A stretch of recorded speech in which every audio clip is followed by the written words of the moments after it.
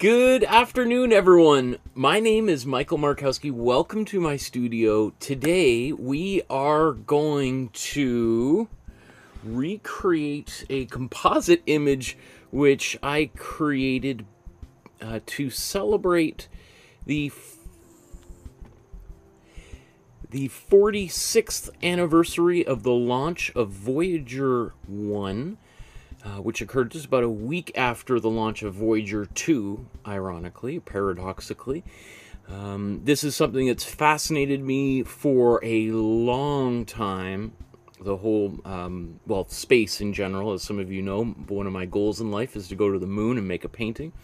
But uh, um, I don't know, maybe it all began with the Voyager spacecraft, which was launched just shortly before I was born.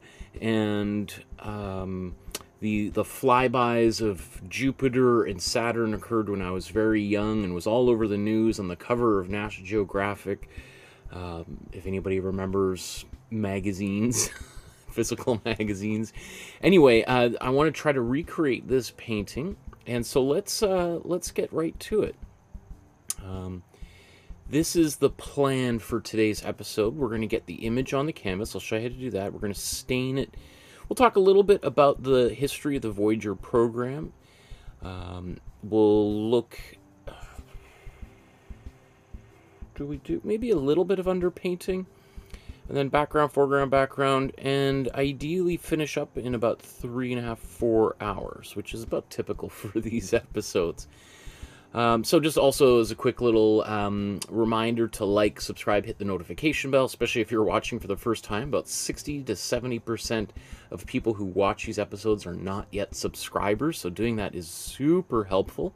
And if you want to support the channel with a small donation, as little as 25 cents, a dollar, $5 million, whatever you feel comfortable with, that helps keep the lights on literally here. So let's uh, let's go to our first step, we're going to get the image onto the canvas. And so one of the things, so I created this image in Photoshop. This is an actual, this is a digital um, schematic of Voyager from uh, NASA's website. And then this is an actual image that Voyager 1 took of Saturn as it flew past it. And I collaged them together in Photoshop. And then I took that file and imported it into my iPad Pro. And using the Apple Pencil and the Procreate app, I traced over those lines, and that's what we have here. Now, you could draw this out yourself, but I'm going to trace it out, and I'm probably going to do this in two steps, maybe. I'm, I'm not exactly sure how I want to go about doing this painting. So let's just see. So if you want to get this um, this file, oh, like the the Facebook page, become a, a, uh, a member of our Facebook group. Um, because I want you to take a photograph of whatever you create today and upload it to the Facebook group. And in a couple of weeks, I'm going to do a free feedback episode where I celebrate all the great work on there and give free pointers on how you can get better as an artist, whether it's painting Voyager 1 like I'm going to do today or something else you're working on, including the drawing class, which is hugely popular. About 300,000 people have taken that class. So that's all free. Find the link in the description below. And I'm still going through the, the images that people send me as they do the drawing course. And I would love to see what you do. Um, so anyway, there's that. Here's the Dropbox link. So for our Paint the News course, uh, you'll see we've done a, a number of space-related things because I'm interested in space. We've done Mars Perseverance rover. We did Alyssa Carson, the, the young woman who wants to be an astronaut. We did an image of me painting on the moon. What else do we do? We did an uh, image of Chris Hadfield, the Canadian astronaut in the space station. We did Alouette 1, which was the first Canadian satellite. We did Canadarm aboard the Space Shuttle Columbia we did uh, the McMinnville UFO, um, which is one a very famous UFO crash. We did a U, the or sorry UFO sighting. We did the Roswell UFO crash, and now here in file number 30, we've got the files for Voyager 1. So you want to download the JPEG or PDF um, version here and print it out on your inkjet or laserjet printer at home, it will look like there's that and then there's my outline right? And then we're going to transfer that onto the canvas right now. And look there's Deborah Goodman and Kathy in the chat saying hello. Goodman says hello Mr. Markowsky how was your day? It was great. It was my daughter's first day at her new school. So she was super excited. I was up all night long, stressed completely out about it. but uh, yeah, so um, that's why I've got my my number one dad mug that she gave me for my birthday last year, with my daughter on the front, as well as my NASA mug. so, lots of mugs let's um, let's do this image transfer here. So once you've got your image printed out onto a, a regular piece of photocopy paper, inkjet, laserjet, you get it printed on your home printer, or you take it to work or whatever. Then we're going to put it onto a 9 by 12 sized canvas panel or canvas board. Now you can buy these exact, well, you can buy this type of material at your local dollar store for a dollar or less. Um, they and that's going to be fine, especially if you're just getting started. I bought these these Fix Smiths ones off of Amazon. You get like uh, it's like twelve for twenty four bucks, two dollars a piece, and they're they're more than twice as good of quality as the dollar store ones. I I think they're and you could certainly spend five dollars at your local art supply store on one of them. I think that's a little bit too much for a canvas board personally. Um, so this is a, a really great uh, resource here. So they come wrapped in plastic. I take it out of the plastic. I gave it a gentle sanding with a 220 grit sandpaper. You can see I've just wrapped it around a block of 2x4. And then I put some white acrylic gesso over top, let that dry overnight, and then sand it down again. And that gives me a really nice, smooth surface. And personally, I love painting on smooth surfaces. It always makes life a lot easier. But, I mean, I'm sure there's people out there who fundamentally disagree with me about that and who say it's easier to paint on textured surface. That's the great thing about art is that everyone has a different way of working and I love that. I celebrate that. I want more of that. So I'm just thinking, where do I want to... I guess I just want to put this roughly in the middle. My printer uh, gave it a little bit extra space down at the bottom.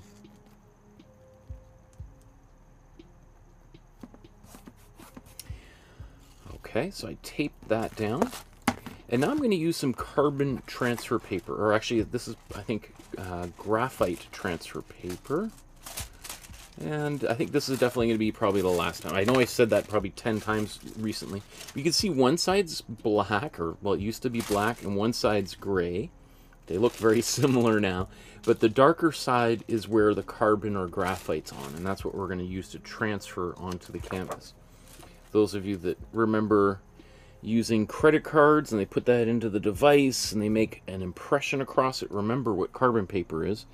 Some of the younger viewers here are probably completely mystified as to what that process was, unless they remember their parents doing this using carbon paper.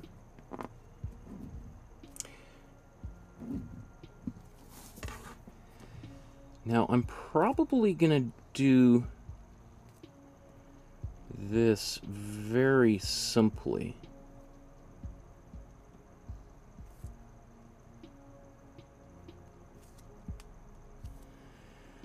Um, because I'm probably going to paint over all of this. So I'm just getting myself some landscape markers here. There's lots of different ways that we could do this, but uh, um, because I'm probably going to paint that whole area just black completely.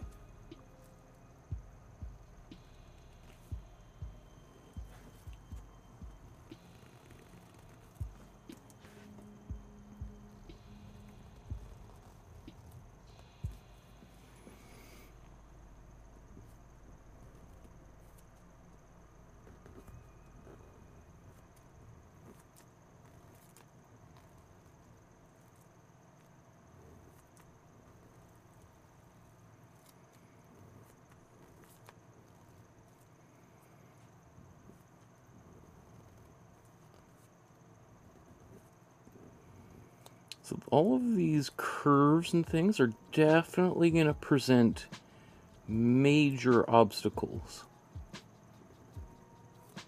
Oddly enough, like, um, the easiest thing to paint is irregularly shaped organic uh, objects, like apples, oranges, bananas, because while they look similar, they're always kind of slightly different and that gives us a lot of flexibility for if we make quote unquote mistakes. Well, you know, it's not like people are going to say, uh, it doesn't look like the, the banana that was on the shelf at the Safeway at 5.07 p.m. in Vancouver, British Columbia, Canada.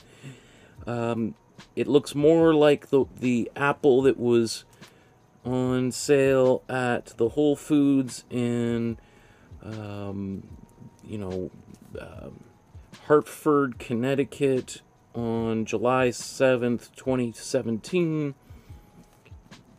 Uh, and therefore you did it incorrectly. You painted the wrong uh, apple. Or did I say orange? Maybe, maybe I did. Um, so that gives us a lot of flexibility. The the next, I think, most complicated thing would be painting. Um, well, then you then you have buildings, architecture. Um, so that can be a little bit more complicated because now you've got all of these straight lines, and painting straight lines is pretty tricky. But um, you can get better and better at it by using rulers and tape, etc. Painting, and then then painting faces is, is gets is also pretty difficult.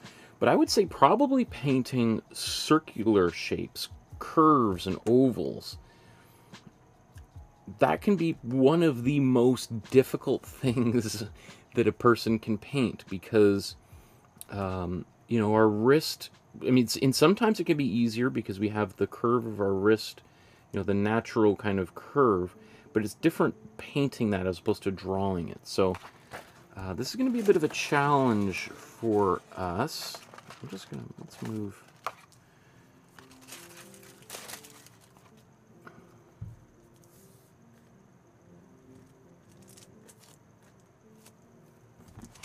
Speaking of the natural curve of your arm, or my arm,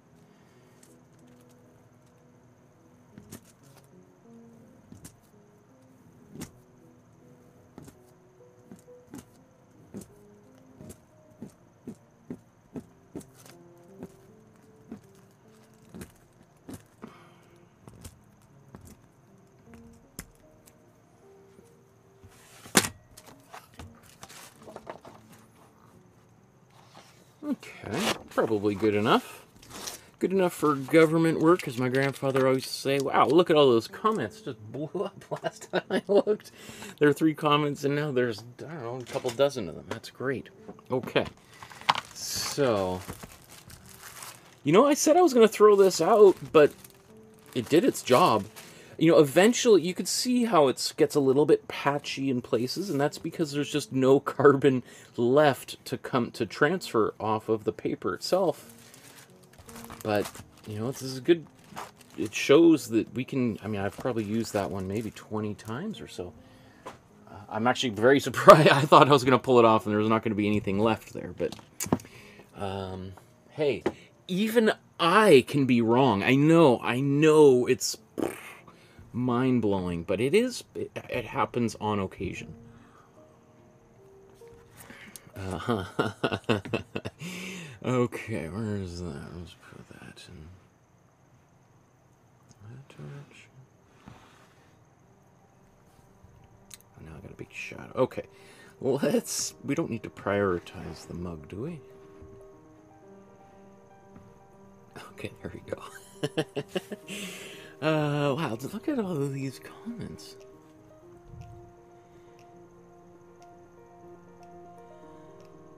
Um, Deborah says in the movie Starman, Voyager One contacted a recording of the Rolling Stones. I can't get no satisfaction in the collection of the human race. Not sure if that was real, but fun. Oh, sorry, the Voyager One contained. Oh, I mean, large. um. I don't know. It was I can't get no. I don't know if the Rolling Stones were they on that record. we will talk about it in a moment here. Um, Kathy says Edie's growing up so fast. It's true. It's true. It's so sad. Uh, Randy says, Hi everyone, I was watching a documentary on Norman Rockwell. Interesting poster maker. Yeah, we did a, a, painting, a Norman Rockwell version of Santa Claus for Christmas last year, I think we did, or the year before. So if you're interested in uh, looking more into Norman Rockwell, there's a whole episode devoted to him and a little bit about his biography as well. Okay, so let's move on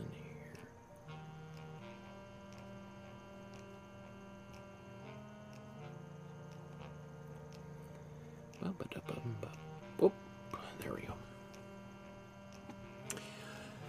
Our next step now is to apply a priming layer, or what's called the imprimatura.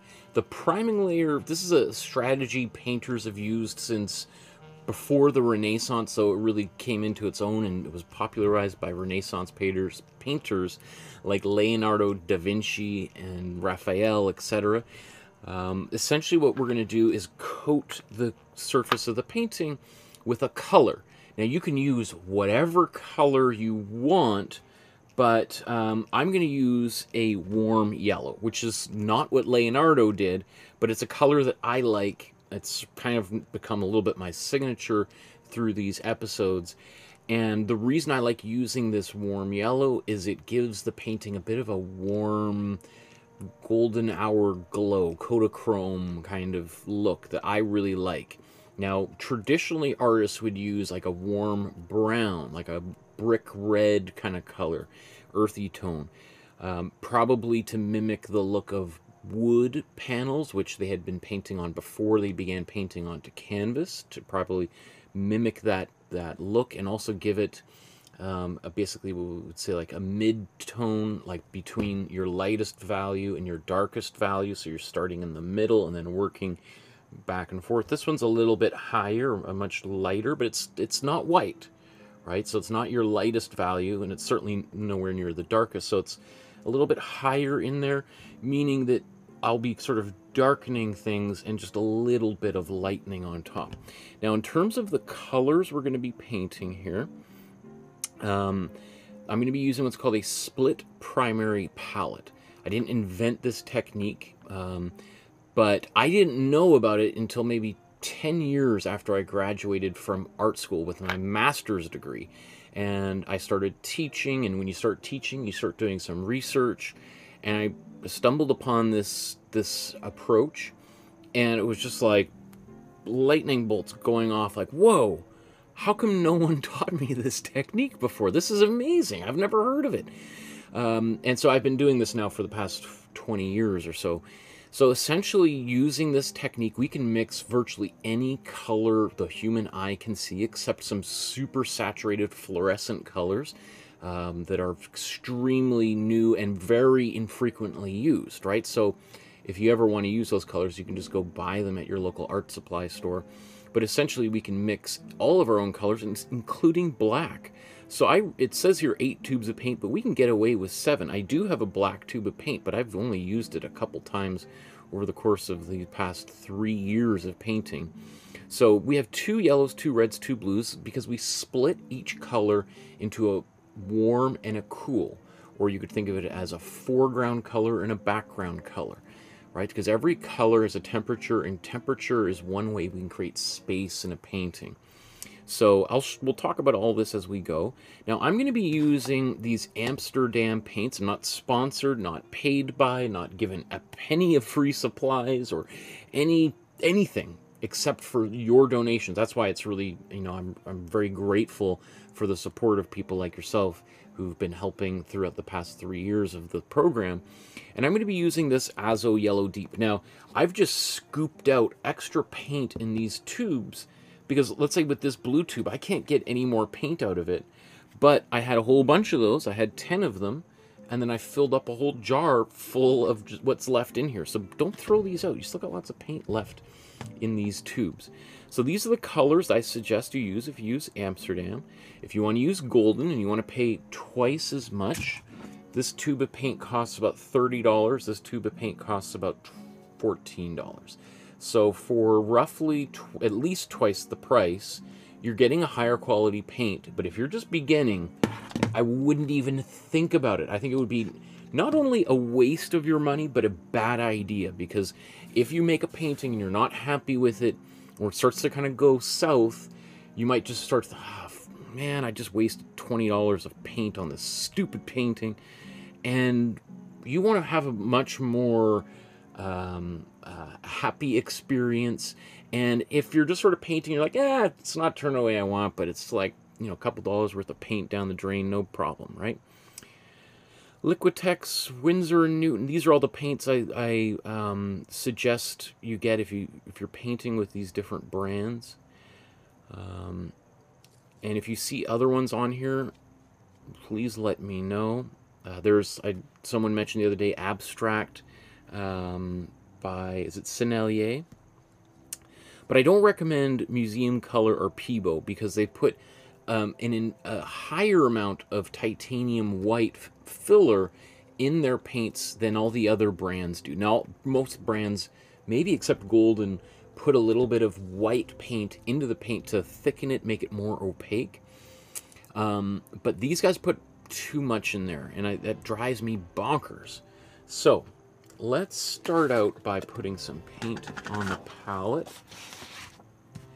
Uh, the reason why it drives me bonkers is because, as I mentioned before, I like to mix my own black.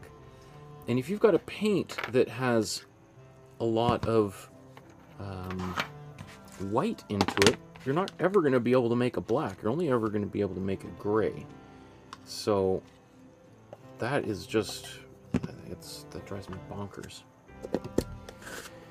Okay, I might as well just put some paint on the palette here quickly. Actually, well, let's let's let's start this. Okay, so here we've got um, some of my Azo Yellow Deep, warm yellow. Put a little bit of water into it. This is the only time I ever use water when I'm painting uh, with acrylics.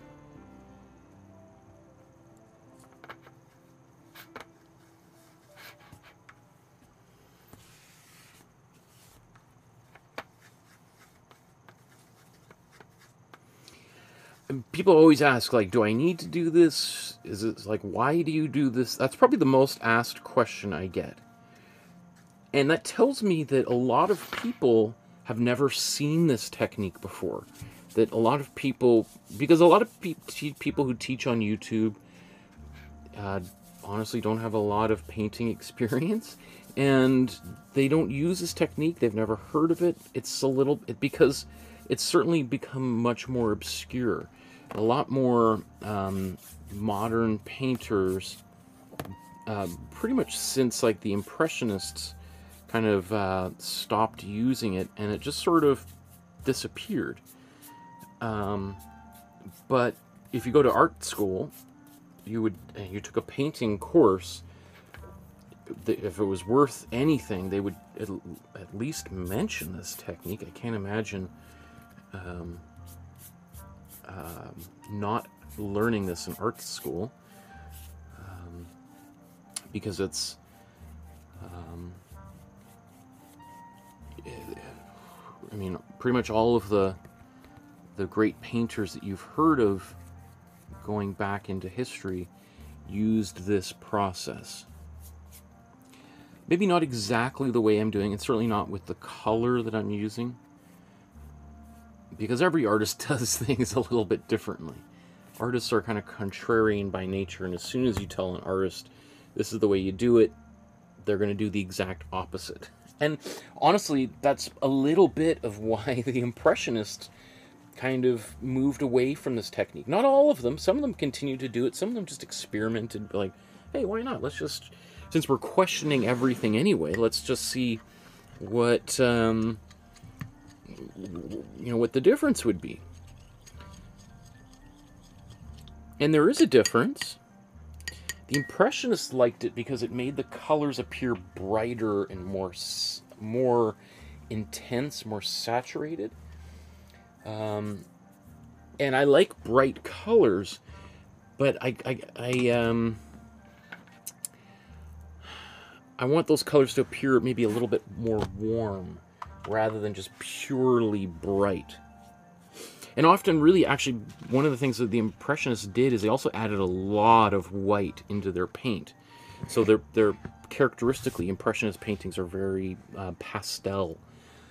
Um, so they, even though they used bright colors, they often kind of reduced the saturation anyway. So um, you sort of get back into what what the imprimatur does in the first place, right? So anyway, probably if you're watching, you're like, I have no idea. Can we just make this painting, Michael? None of this makes any sense. Okay, okay, I, I fair, fair, fair. So next step here, I probably I just want to blow dry that real quick here.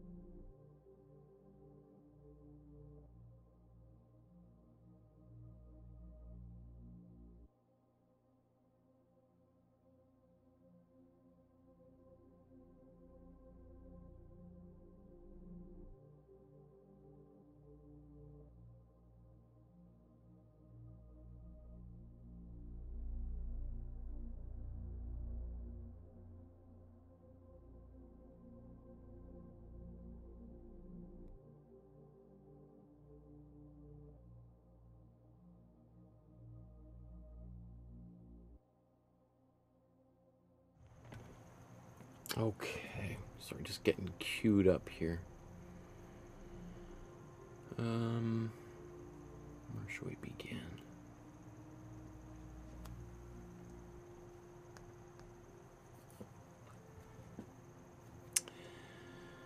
Okay, a little sip of tea here.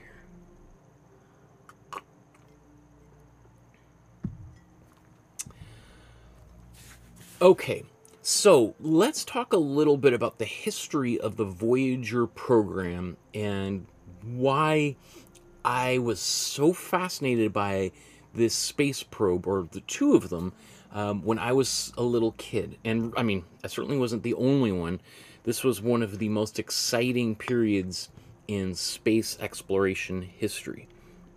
So let's um, let's go here to to Wikipedia. There's also an excellent page here that NASA maintains on their own website. And here you can see Voyager 1 in real time, um, what it looks like, where it is in, um, in space. And in fact, let's... Uh,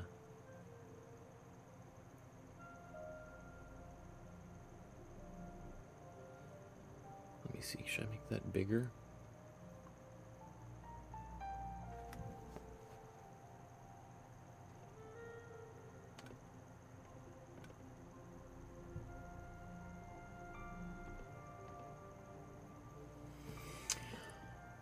Okay, so this gives us an, an idea of the of our solar system. There we've got the sun right in the middle. Look at that big sun. Woo, it's hot. Whoa, it's starting to kind of cool off a little bit. All right, you got Mercury.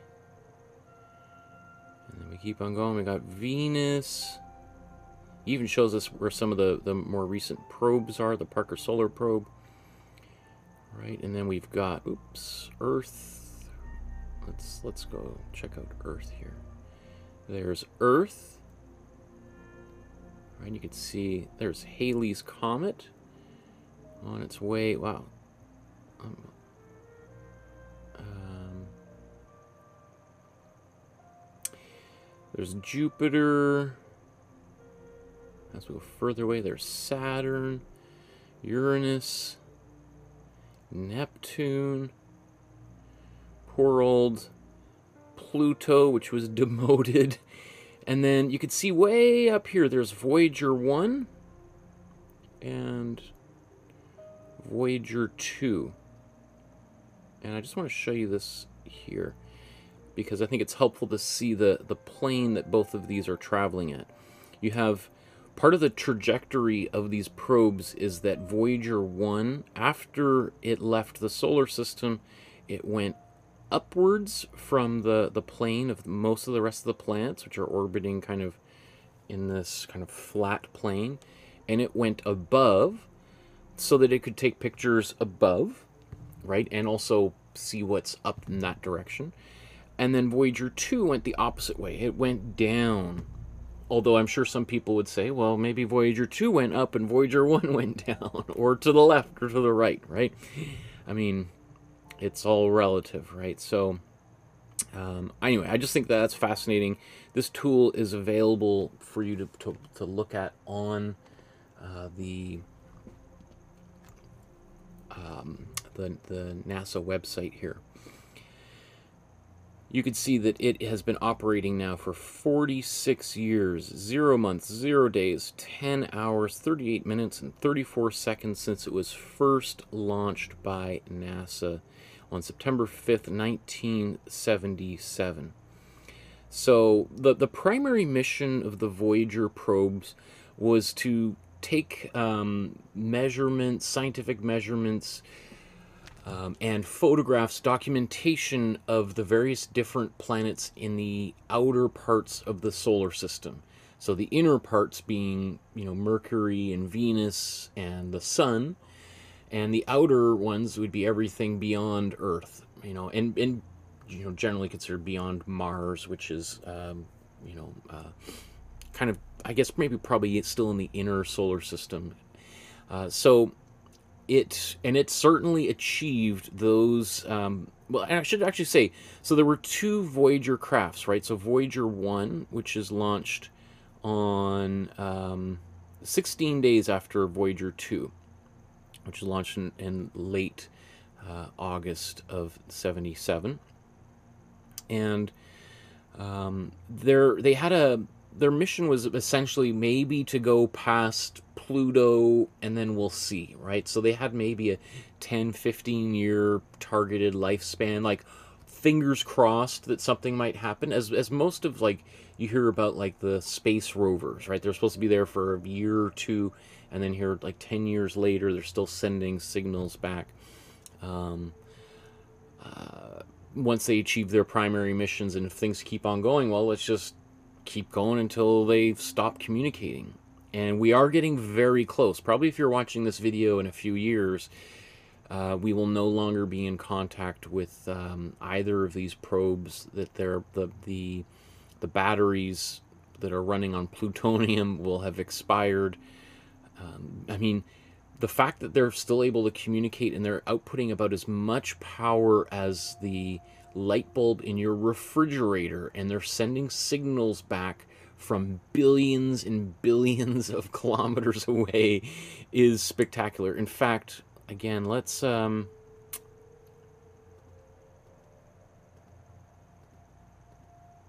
which page was it?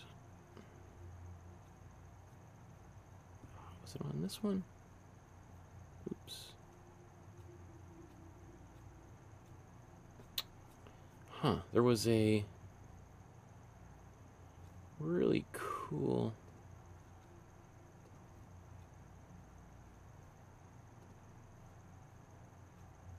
timer. Where did I, what did I do with that? Darn it. Uh, oh, maybe this is it right here. Sorry. Um, this gives us an idea of the distance. Whoa. So Voyager 1 distance from the Earth is 24 billion 84 million 232,400 and 500 and 500 and 600 kilometers, right? So you could see, look how fast that's going. It's going up about a thousand kilometers every two second or so, right? And you can see, obviously, even much further away from the sun, but this is from the Earth. And if you want the the uh, the imperial miles here, let's just zoom in on that. You just see these numbers tick up, tick up, tick up. So the, the Voyager probe, Voyager 1, is the farthest human-made object from the sun. And it has now escaped the the solar wind, so it has officially escaped uh, the the um, uh, Earth or the sun's gravitational pull and it has left our solar system and is considered to be an interstellar space, which is absolutely just blows my mind. Right? It kind of feels, you know, and again, if you're of, of I was born just a, a 10 days after the launch of, of Voyager 1, so part of my life in some way, I can kind of measure it according to where Voyager is in our solar system. We can see just a few little updates here, also Voyager 2, which is not quite as far away. So it's interesting, Voyager 1 and Voyager 2, even though Voyager 1 was launched, um, think, is this the map? There's an interactive map, I think, somewhere here on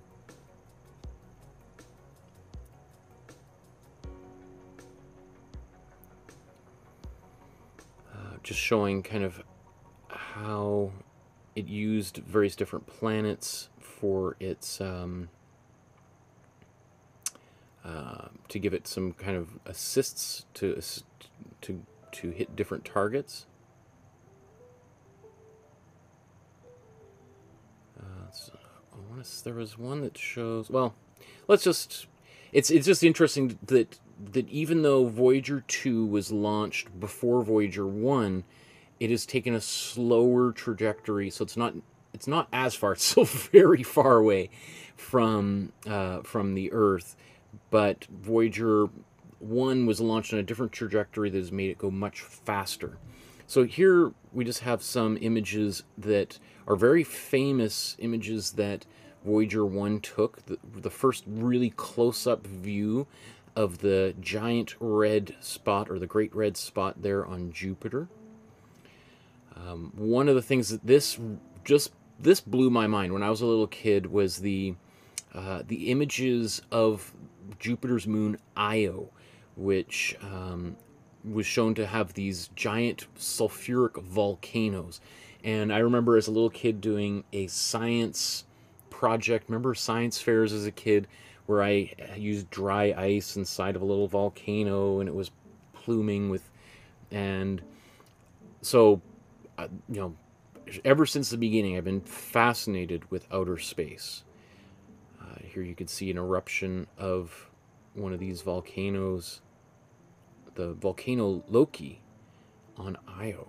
Oh, wow. There's Europa, another of the moon. Um, the, the very famous image of Saturn. In fact, I I should show you. Maybe I'll I'll show you after the different images that I was considering using for this.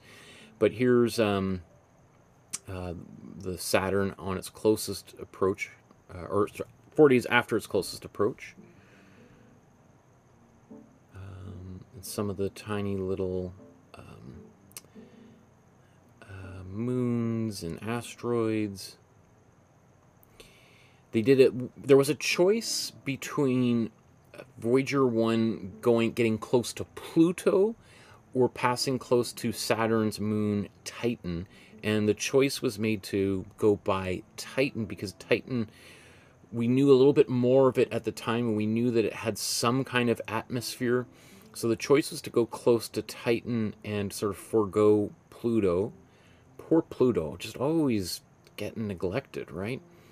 Um, this is a very this is also a very famous photograph or composite photograph. It's called the family portrait, and here we have um, uh, as as um, what you call it as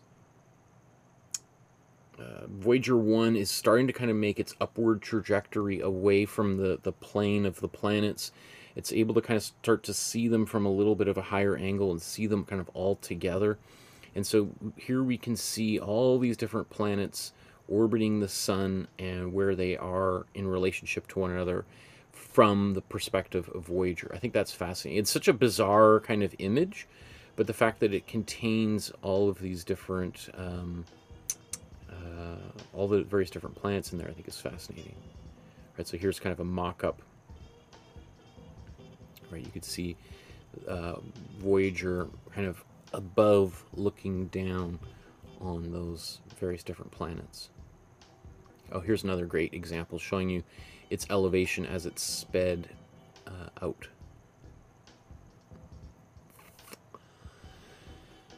Um, this is also another super famous image. It was really popularized by the the author scientist Carl Sagan.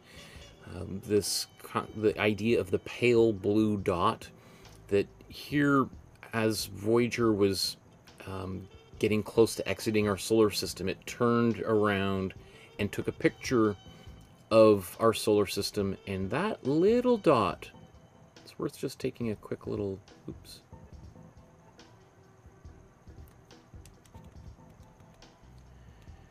This little dot here, that's us. We're it's hard to find. There we go. Ah. So in the incredible vastness of space, that is Earth. That's where we are right now. And that I just find absolutely fascinating. And one and that's what Carl Sagan said is like all the way he kind of uh, presented it is you know think about all of the the history of the Earth, the dinosaurs, all the epic wars and great novels and music and you know the the, the love affairs the murders all of the stories it all exists and has happened right on that little speck. The size of a tiny little grain of sand from the perspective of voyager. And so he was sort of imploring us to kind of put that into perspective um, that how kind of silly it is or and trivial our our um, our disputes are with one another.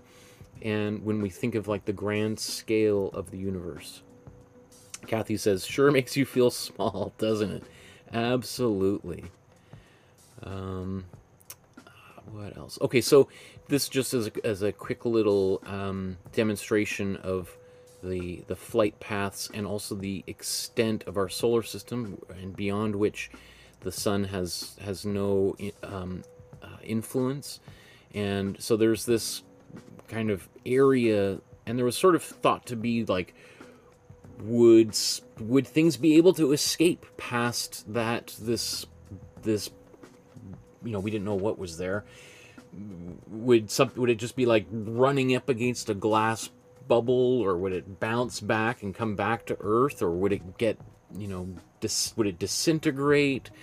Um, like what is beyond the, the the reach of the sun? Would um, would it get immediately sucked into the orbit of something else and so there was a lot of attention paid to what exactly was happening and and there wasn't a big like it just everything kind of became very quiet so it's interesting if you look at the um, the the readings of Voyager um, as it as it left that space, uh, as it left our space, I guess, and went into interstellar space. Um, how how things have you know what what it was recording because really as i said voyager wasn't supposed to last this long. I mean it was hoped that it would but you know we're talking about a computer that is um, about as powerful as a calculator you know one of those old calculators you might remember from school right? That's what the power of the voyager 1 computer there's more power in your there's like hundreds more um, power and computing power in our smartphones than there is in the giant computer that was um, um, built into Voyager 1 and Voyager 2. And so the fact that it's still working at all, I mean, how many of us are still using our very, very, very first computers, right? I remember we had an Amiga back in the 80s, right? That's in the garage, I think, my parents' garage. Um, uh, hasn't been used in 30 plus years, but here's Voyager 1 still trucking along. Um, so, what else do I want to mention? Well, let's. Uh, one of the most interesting things, and it got brought up there in the chat, was the famous Golden Record. So, the Golden Record was um, a two sided gold record that was mounted onto the outside of the Voyager spacecraft. So you could see here it is on the outside. I think there's a probably a. Uh, so here's some of the images that are that are encoded on there. What is there's? Uh, so you can see here's what that record it was. There's actually a kind of a little container for it. Um, and you could see you know they, they took it pretty seriously. There was two identical records one for each of the voyager spacecraft. You could see them etching it plating it with gold. The gold is, is intended there to help preserve it because gold is, is a very um, you know a, a fairly stable substance that is can resist really really high temperatures and really cold temperatures as well. Okay there you go. See you can see them mounting this onto the outside of the spaceship there. Obviously, they made more than one copy of it.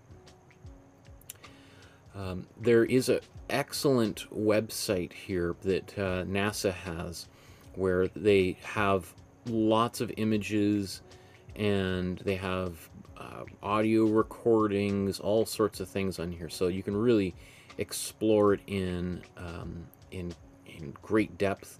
You can see here you can listen to the entire 90 minutes of the side A, which has all the sounds of the earth, including some music.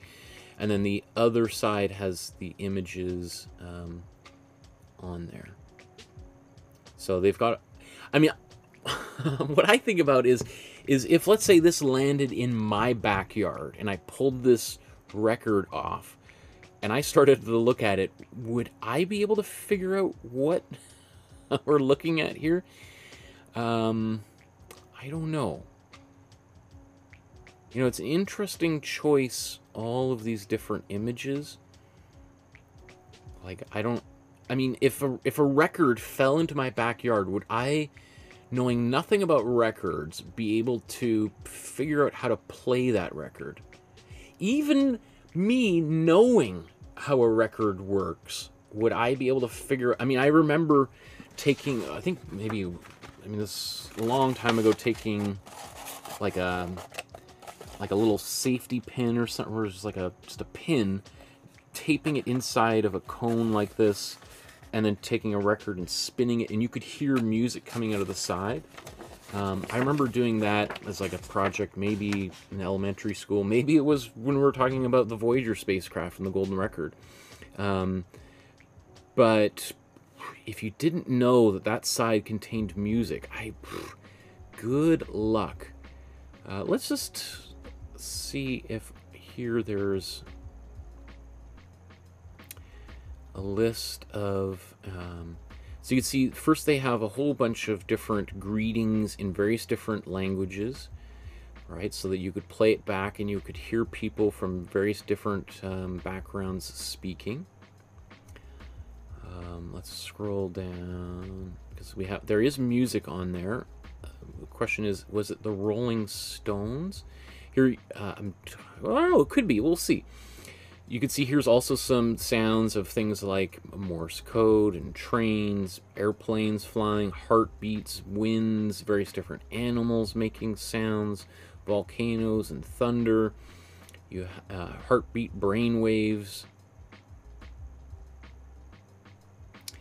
And then we have a lot of music on here. So you have Bach, and it's not just Western music. So so that I think is you know for the 70s, you know, people tend to kind of think like, you know, it's only today where people woke up and uh, started taking a non Eurocentric view of the world. But, you know, to its credit, NASA included music from Indonesia, Africa, um, South America, uh, Latin America, uh, so we have Chuck Berry. So I'm just trying to think of things that might be recognizable to viewers. So Johnny B. Goode, Chuck Berry. Was that does Johnny B. Goode? Is that the one that Michael J. Fox plays in Back to the Future One? Is that Johnny B. Goode? Let's just see.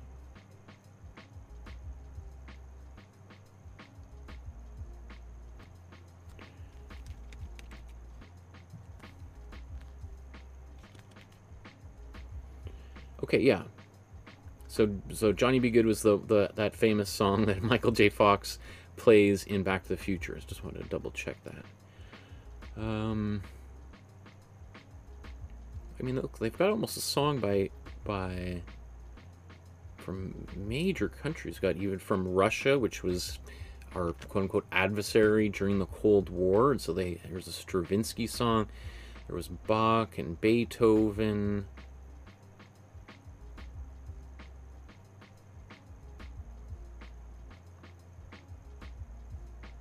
Got some old blues. Uh, so no, it doesn't appear that the Rolling Stones are on here. Let me just see. Let's just. No, no Rolling Stones on the golden record there. Oops.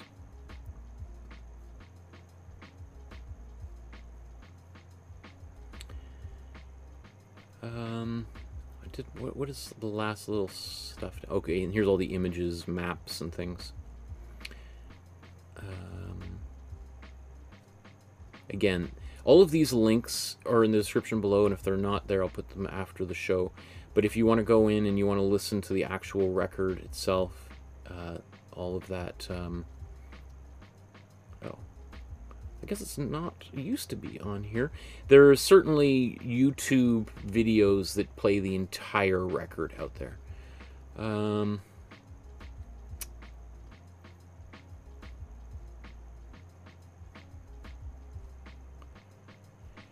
another thing I should mention is I'm just since I'm just really quickly scrolling around here on the the NASA website. NASA, again, to its credit, um, has you can download every single picture that has ever been taken by any of the NASA spacecraft, going all the way back to the very beginning. Um, you can download them and use them.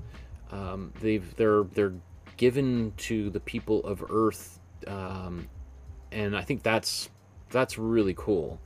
That uh, all of that, all of the data, all of the images, are all provided um, to us uh, for free.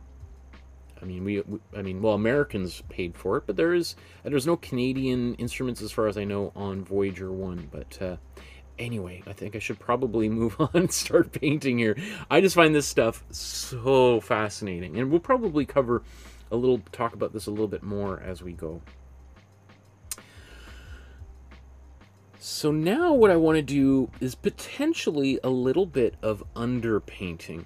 And different artists have different ideas of what constitutes underpainting, as different artists have different ideas of what the imprimatura should be. Um, so that uh, essentially that one of the views for an underpainting would be to actually combine underpainting and imprimatur into one process and use um, like a, uh, a brown And rather than coating the whole surface as we've done here, to instead um, paint just, you know, very quickly, kind of draw out your composition with that imprimatura stain. Uh, either just doing that and leaving the rest white, or going in and painting, you know, some of it with a darker, thicker version of that paint. That's usually if you're painting a landscape or a portrait and you're not sketching it out, you're just literally painting it out for the first time. Um, and again, that's a very impressionist approach, right? You're, it's a very spontaneous, takes a lot of courage and command control to be able to pull something like that off.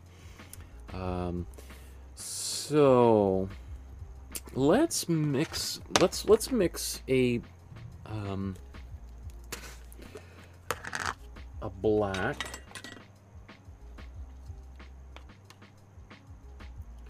We're gonna need a lot of black.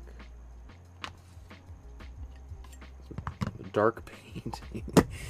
Big dark painting.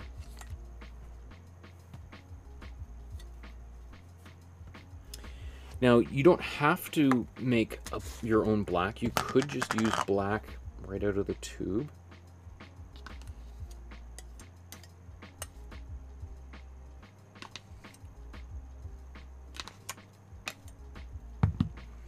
But um, a, a, number of reasons why we might not want to do that is that um, using uh, black. Black is, is such a dominant color that it's going to want to leap forward. And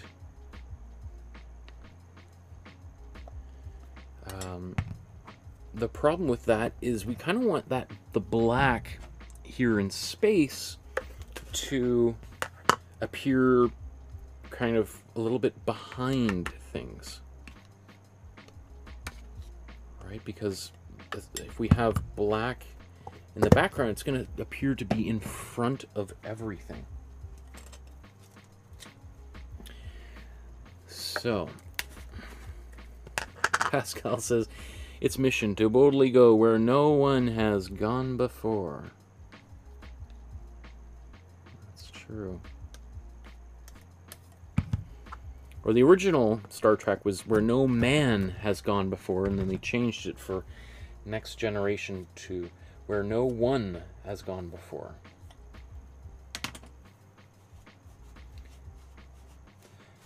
Goes to show that even a utopian program like Star Trek can still, there's still room to grow, right? And to be more inclusive. Oh, I forgot my white.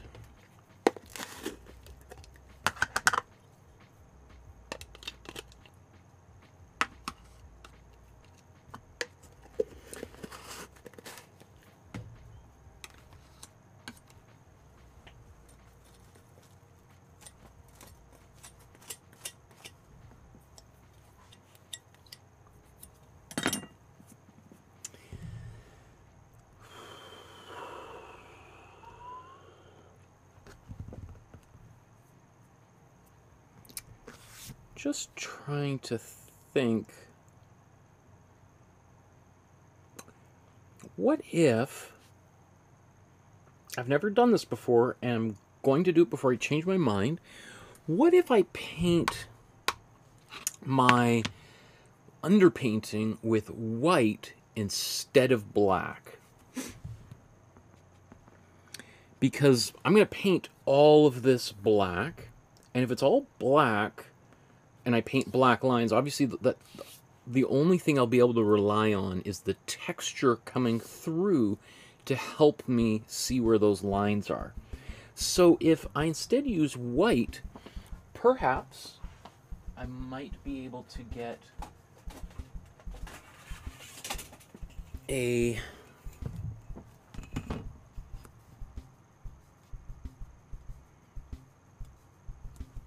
a line here. So I'm going to try painting a line with my paintbrush using a ruler here. Um, don't know if, I'll, if I can show this. It's not going to come across very well, I don't think. Um, what I'm doing is I'm just lifting the ruler up a little bit to help give me a little bit more room between my paintbrush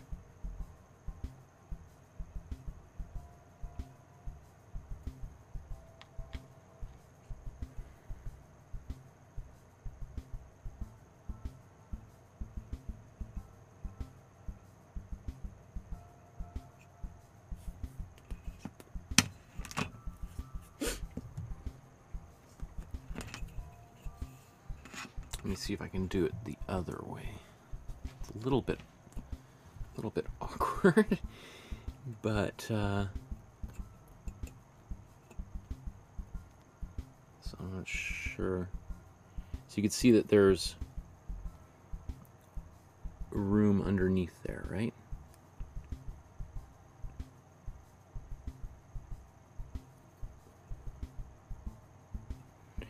so then I can take my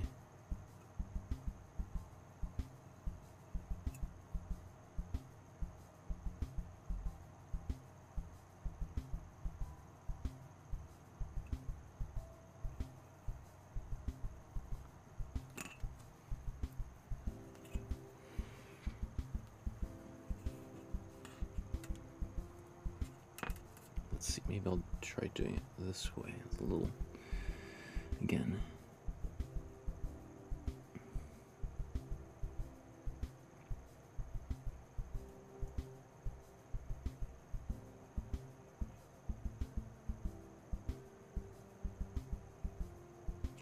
This is also, by the way, a great way to practice doing a different technique is on a canvas like at this stage of the painting process where you know I'm gonna I plan on painting all of this out anyway so if it gets if I don't like these lines well it's not like I've committed all that much to it because um, I don't even have to paint, worry about painting it away because it's just going to get covered up. What I'm doing here, just really quickly, is I'm just adding maybe just a little bit of extra texture at the top and bottom. So if I this does get completely obliterated, I'll see a little bit of these markers and be able to use my my ruler to line it back up and try doing another straight line there.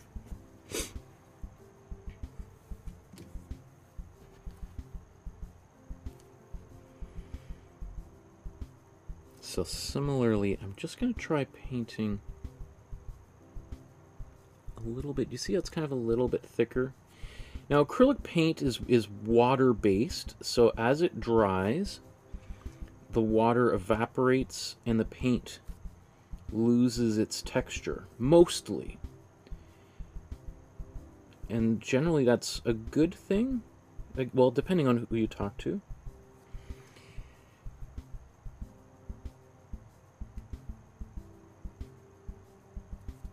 I'm deliberately trying to build up a little bit of texture so that later on I'll be able to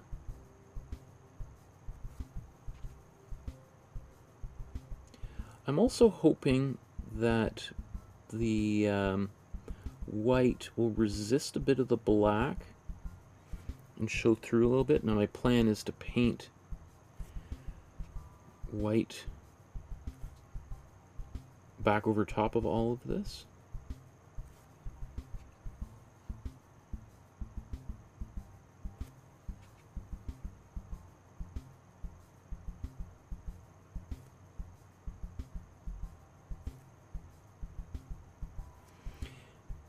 Now, I could use white carbon paper,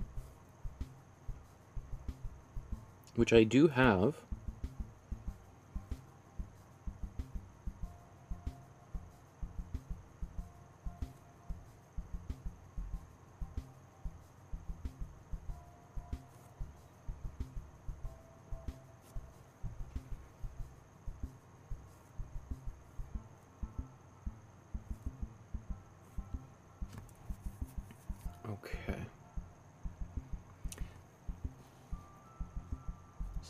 That.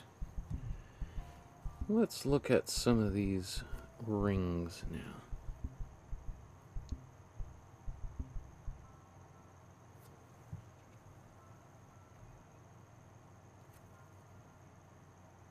Or maybe, why, don't we try doing both um, methods with this painting? Why not, right?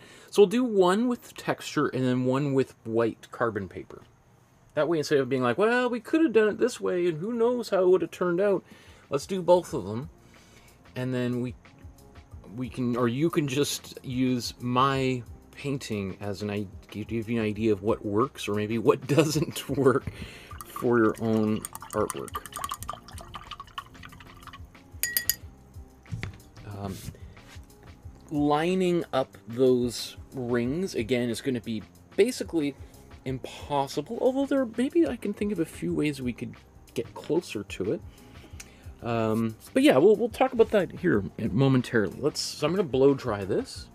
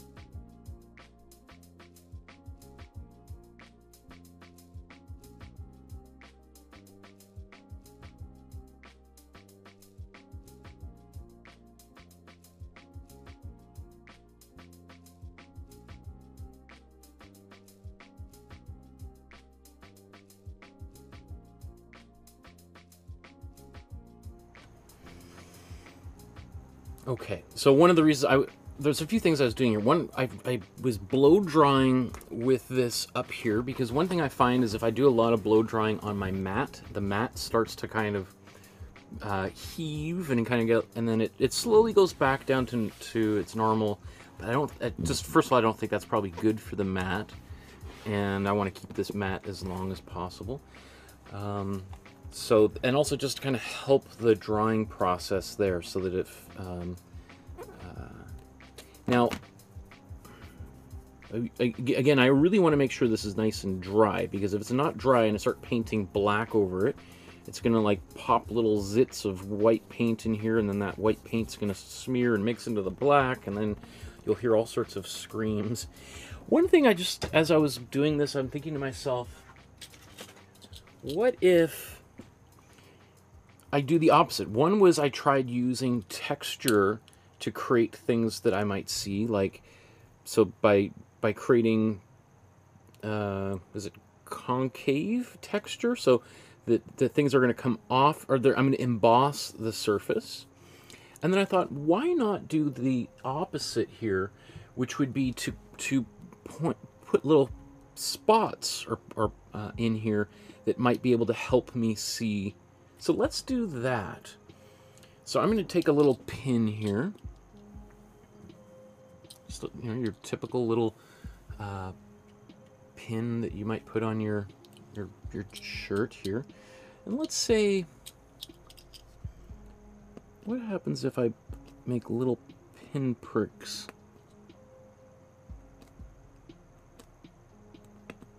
around the edge of the planet.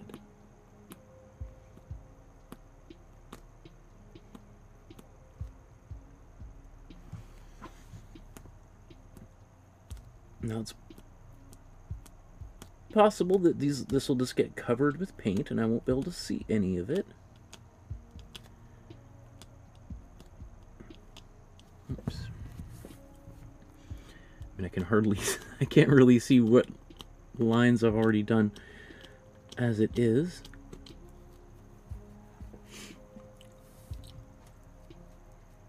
I think I started down here, didn't I?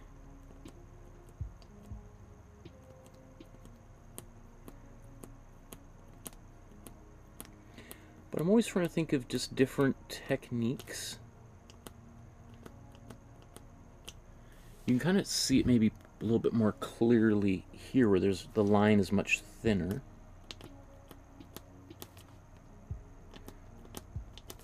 Because, you know, using the underpainting works really well if you're going to paint a lighter color over a background.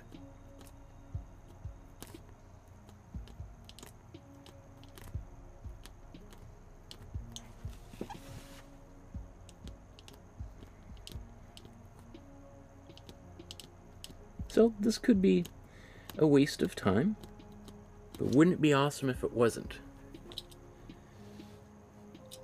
Okay. Barbara says, Hi everyone, I just woke up. There's an owl hooting right outside my window. uh, Pascaline says, I'm so tired I'll have to watch tomorrow. Have a good time, everyone. Deborah says, It's taken almost five decades to get to Saturn. Wow. Yes, Kathy, I feel small. Oh, sorry. Um, it actually it passed Saturn in November of 1980. So, you know, it actually only took about three years to get to Saturn. Um, it's the last four decades which have um, been its journey from there. So that gives you an idea of how big our solar system is, how you know the the the scale of of is just it's kind of hard to believe that okay so it took three years so it's 40 it's been 43 years almost you know let's say 42 years and nine months since um, uh, Saturn or since Voyager 1 passed Saturn. So and it just over the past few years escaped Earth's solar winds, right? So, I mean, I yeah, I, I can't even this that that level of scale is just mind-boggling. I'm sure my parents still have in their basement a, a dog-eared copy of the probably December issue of the National Geographic from 1980. In fact, let's, I just, now I have to check this out. Let's, uh, what was it? So, National Geographic, um,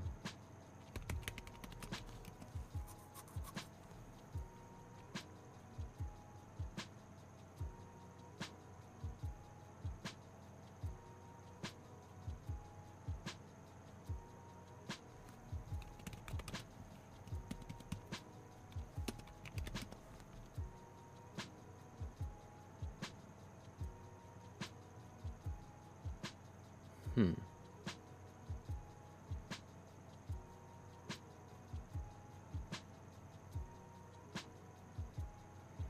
So that's the cover. Oh, I think this must be it. Rings of Saturn. What issue is this? July 1981. So this might have been from Voyager 2 which passed by Saturn shortly after. Interesting. Okay, sorry. Stay stay focused, Michael. okay. So let's uh let's mix our paint up here.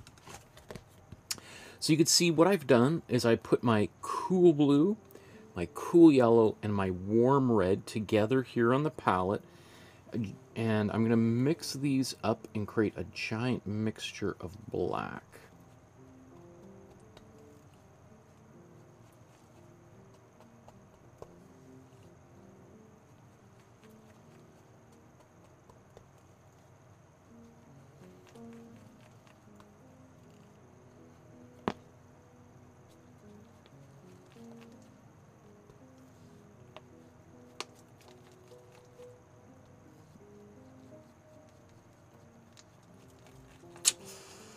Was, yeah, it's a little bit on the red side. I was trying not to scoop all of that red in there. It was, it's not bad, but it will be a little bit warmer.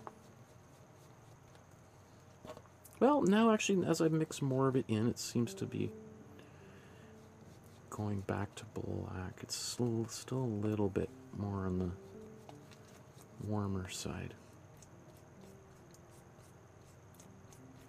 Now this is a pretty thick mixture, so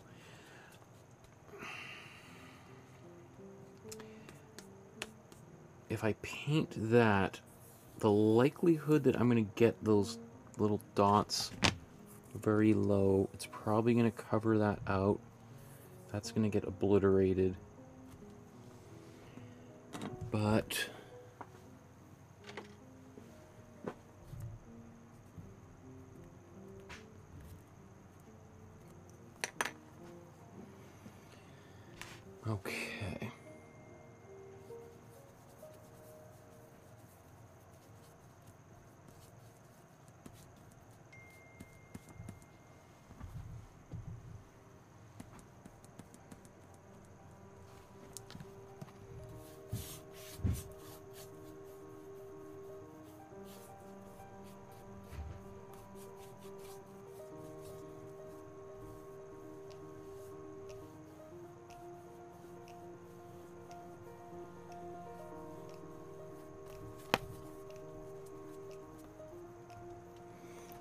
could all be for naught here.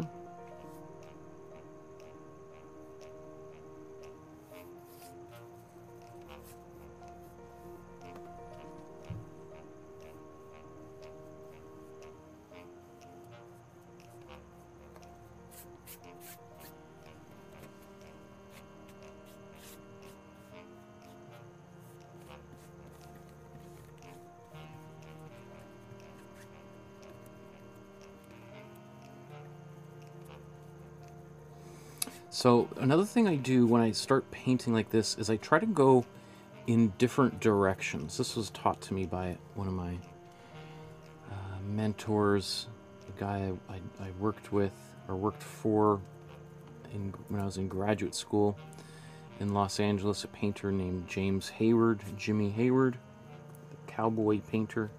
He's a cowboy, he doesn't paint cowboys. Um, and uh, he taught me to to paint in these sort of like cross hatching kind of patterns because what that does it helps the paint get into the weave of the canvas. So once we're assured of that then I'm just gonna go I'm not sure can you see those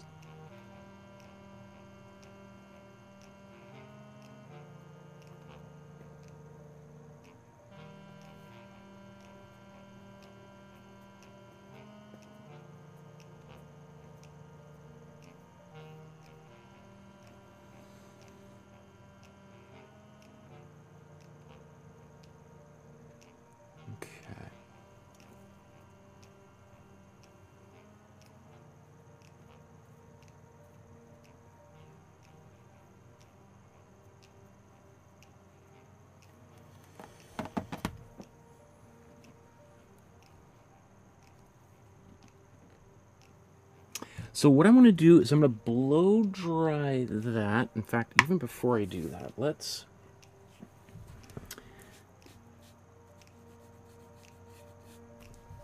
I want to get rid of any kind of...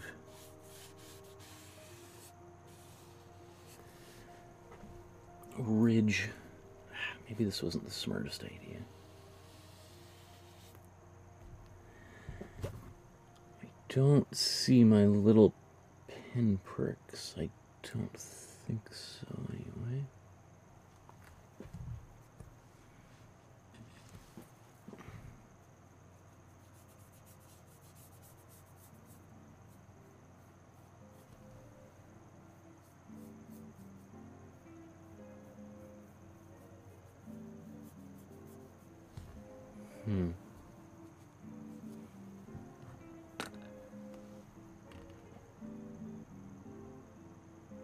Okay, let's blow dry that, and then we'll see. I, I may want to do another coat on that background just to make it darker, but let's just see.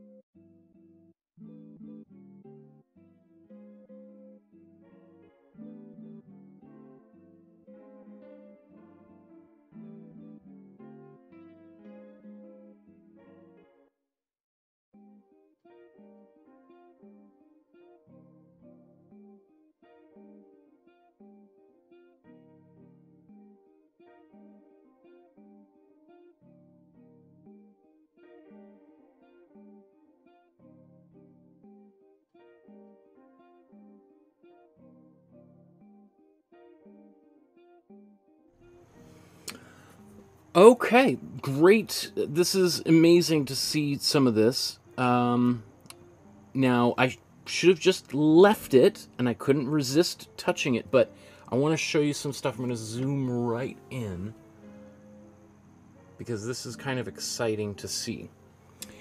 Um, you can see here, those are the... See, is that in focus? Let's try You can see my little dotted line, so I actually um, should have just left it. Let's see, you can see... Uh, you can see it a little bit better here on the bottom.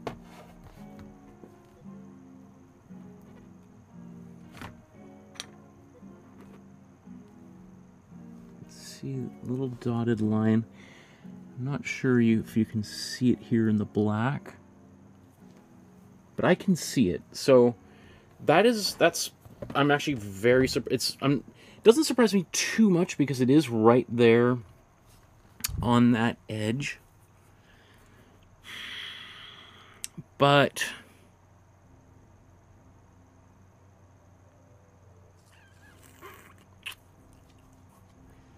I'm I'm angry with myself that I tried to blur that away with my paintbrush, meaning it's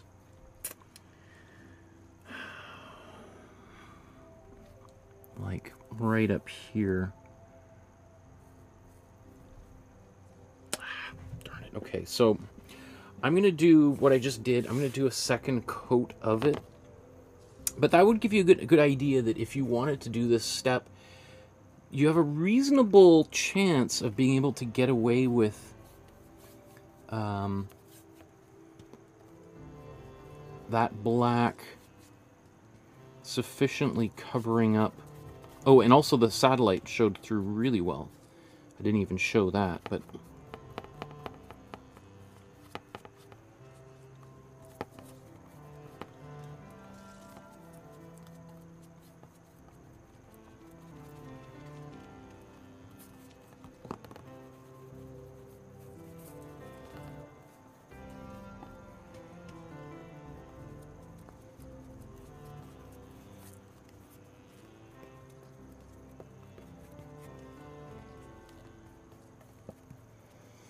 So this is just going to help give me like a, a really, really dark, deep black. Now remember, this is not black out of the tube. This is black that I mixed myself. If it was black out of the tube, it would be much more likely to be very opaque. And probably one coat would be more than enough.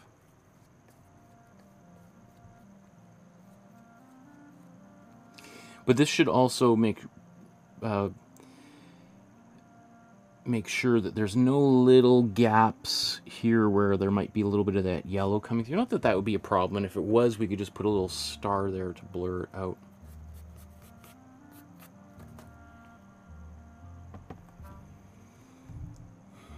Okay, so what I'm going to end up doing, I think, is I'm going to paint this white, and then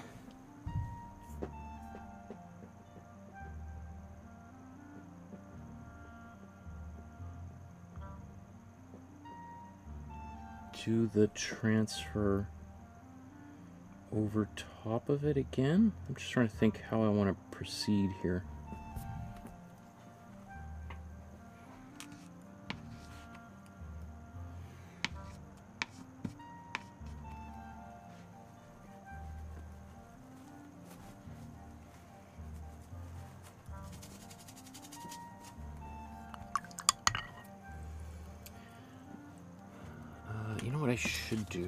Just going to take my black and consolidate it here.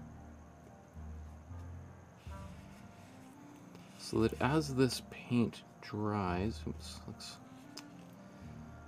uh, I don't know if that's going to work now. There's a, there were some little hidden pockets of paint that I didn't really mix in well. So I could try to get away with reusing this black for touch-ups, but because I see some of that red and, and blue kind of reappearing,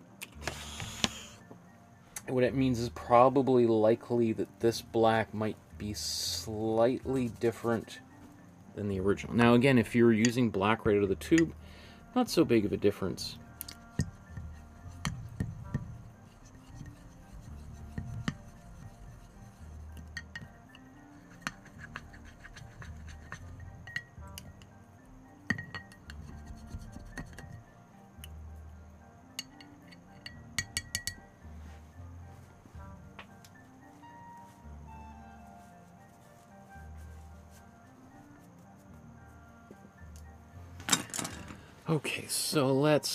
Let's blow dry this again.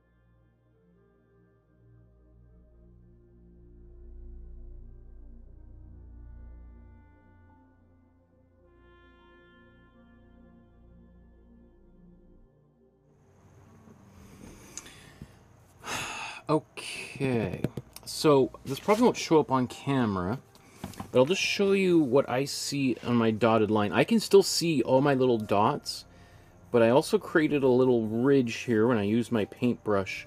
So my painting kind of, I see this little ridge here.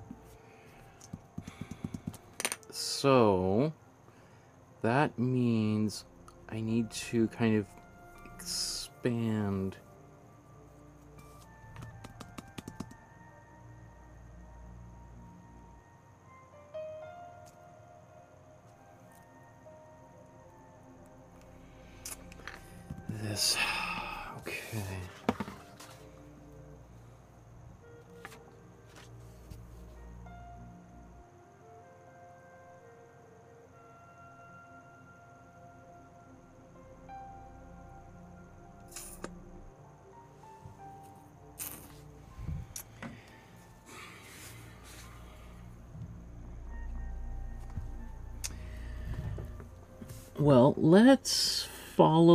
the dotted line.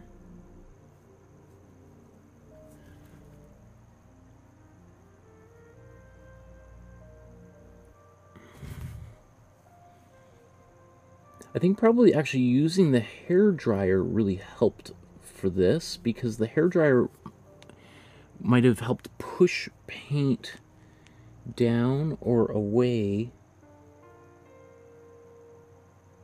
from those little dots.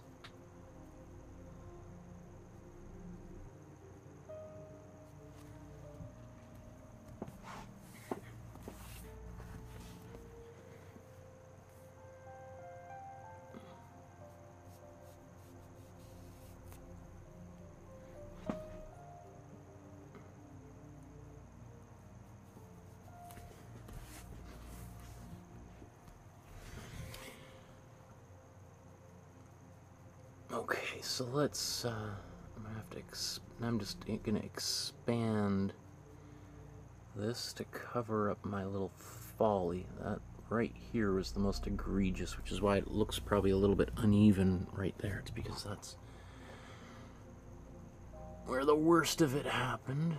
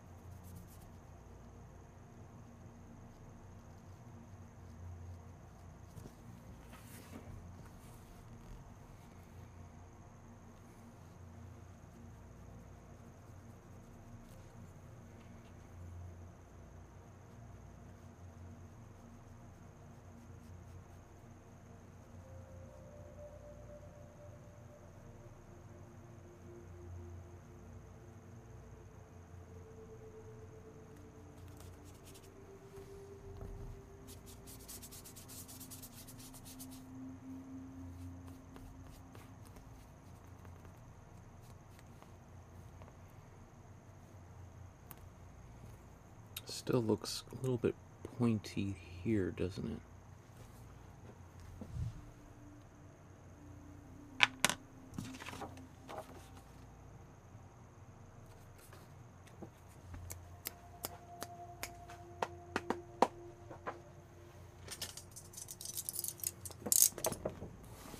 Where did my scissors go? so, I always get feedback from people saying, I, I love seeing you make mistakes. uh, here we go.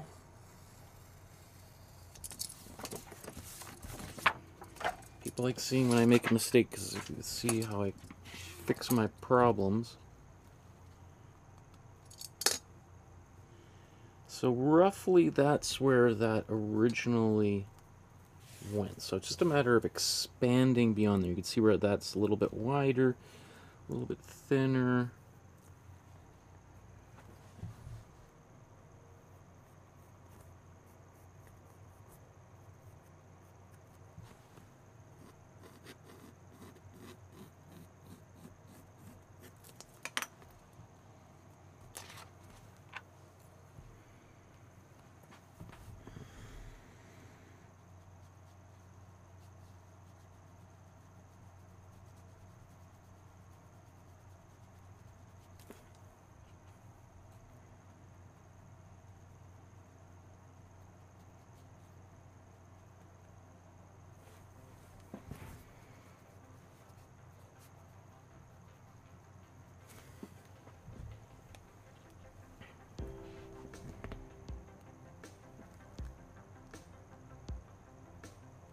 Wow, I can really see all my little dots now. Let's, I want to show you that.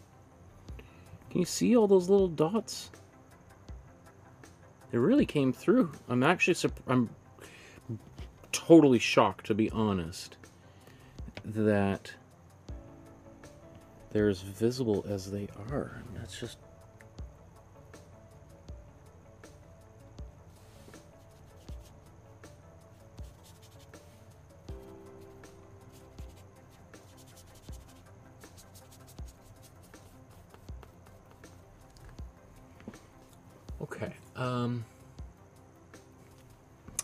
blow dry that.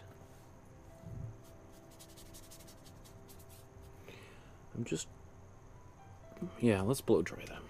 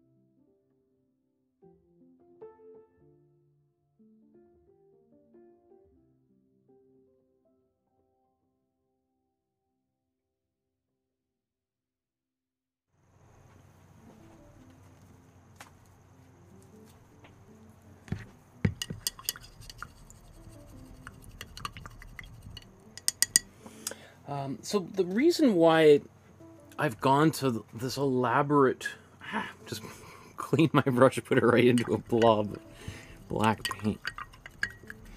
Um, the reason why I've gone to this elaborate uh, roundabout way of, of doing this, rather than just painting and leaving a little sharp edge there, is I didn't want it to look like the brushstrokes just boom ended here, like there were all this little fussiness right around. So I deliberately painted right over top of the planet so that it looks like that the planet is in front of the background. Right? Another option, I could have just painted, let's say, a black Imprimatura and just used white carbon paper over top. The one thing is we may see here when I do the rings with that white carbon paper is my fear is some of it's going to stick to this black background. But we're going to find out very shortly what works and what doesn't. And, you know, something that the other thing that can be kind of frustrating is what might work for me might not work as well for you just based on the paints you're using, you know, where on earth you're painting, and the, the humidity, temperature. I mean, it's all chemicals, right? And some some chemicals are going to behave different in different situations. So I'm just putting my imprimatura back over top of this white so that I don't have because if I if I just start painting colors over top of it the colors are going to behave differently over the white than they are over the yellow.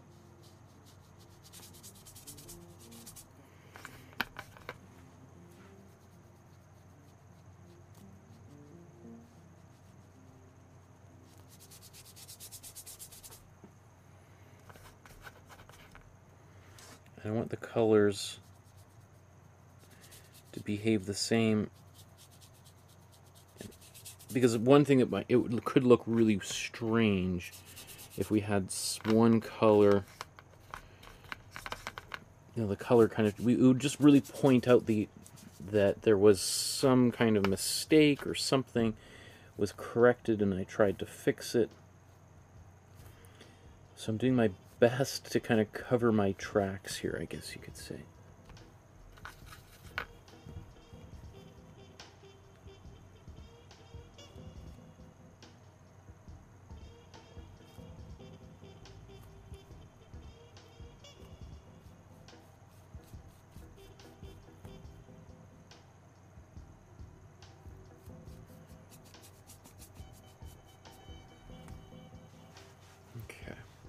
So there one there will be a slight texture change here because this is going to be you know I painted that white so it's kind of smoothed over and maybe even added a bit of texture whereas here we have back down close to the gesso. So it's likely and, and maybe possible there's going to be a little bit of difference. There is now just a, in some places a little bit of white fringing around the edge in depending on what I'm painting, that could be a problem. But here, that might actually just look like a little bit of glow from the sun, you know, or a, you know, reflection from a moon or something. As there is in the original, there's just this little bit of fuzziness. So I don't mind that actually, and I, I could even play with that a little bit as we go forward.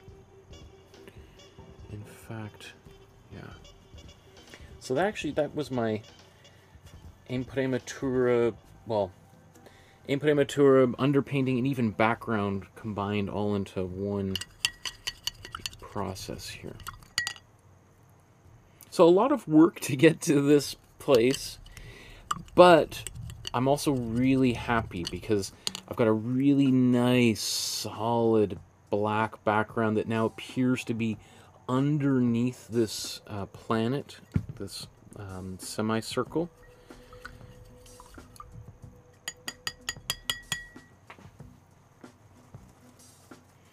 And you know, everybody's paint everybody's goals for paintings are a little bit different. I mean, some people would look at that and be like, "Are you kidding me? All that work to for such a subtle effect?" Right? Like you spent you know, 45 minutes to get to here. I could have painted that and be done in, in five minutes. And that's, I totally get it. I totally get that. Um, and, you know, with all these classes, I sometimes, I ask myself, like, what is, do I want to teach people how to do this painting as quickly as humanly possible? Um, and I, because I get emails from like high school teachers saying they want to use these classes, and I'm like, yeah, go right ahead, use all the materials. And so for in that instance, you know, they're just trying to get something done in a short amount of period of time that looks pretty good. Get it? And I think, but then do I want to show people like, you know, how we could do it better? Like do like a, almost museum quality version and it's, so it's, and I'm like, well, probably anybody watching this is not interested in, in that level of quality. So I try to kind of go a little bit in between, showing people if you were trying to get it done as quickly as possible, this is what I would do, or I maybe explain it. But and if you want to do a little bit more advanced, kind of this is what we would do. Right?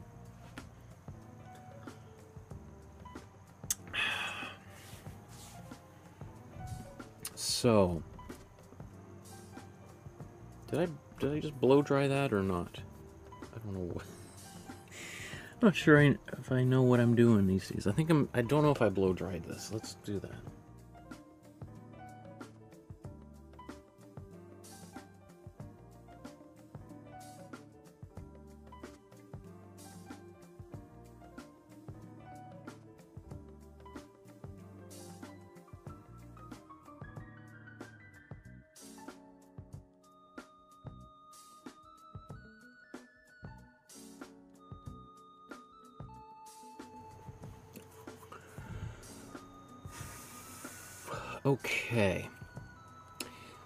So, I'm just gonna bring these lines back in here.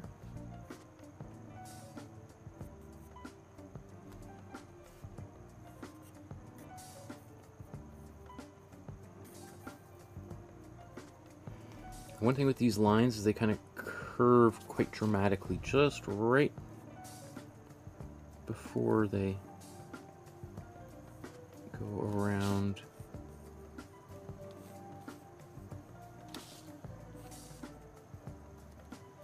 Here's those rings.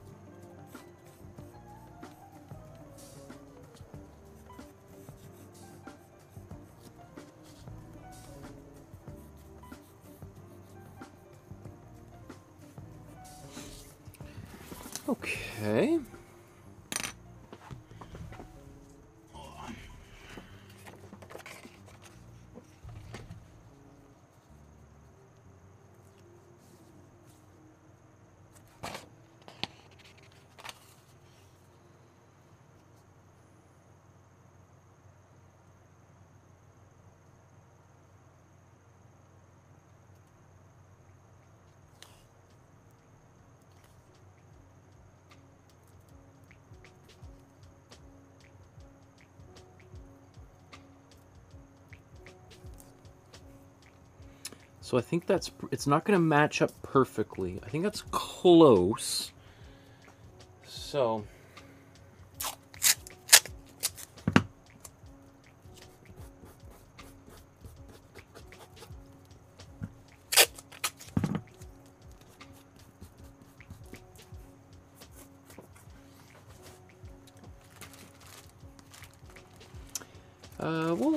some black carbon paper because probably very few people have white carbon paper. And uh, where is my white carbon paper? Uh, I do have it. Oh.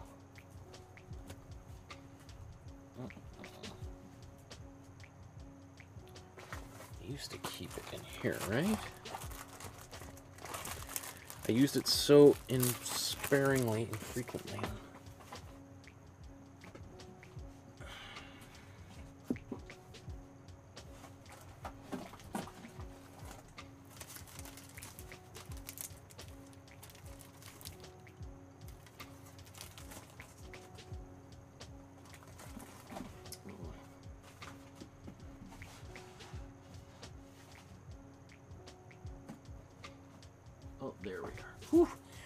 Say maybe we're going to be using black anyway. Okay, so here's my white carbon paper.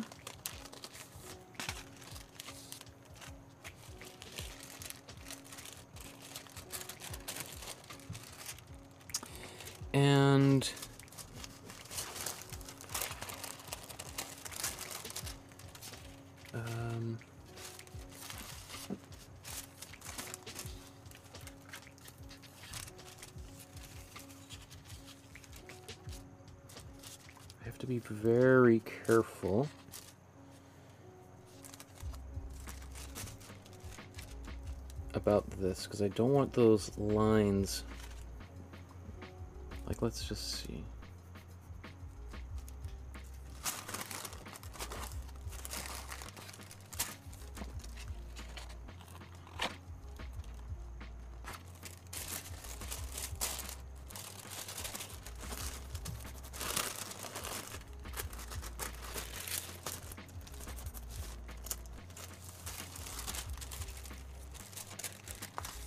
How come I can't see that?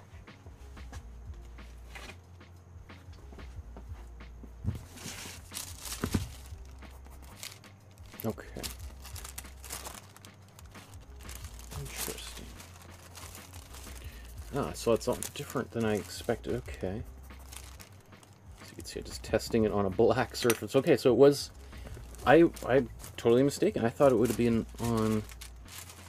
Okay, I guess that makes sense. The shiny side facing down. Okay. I just don't want this carbon to stick to the black, so...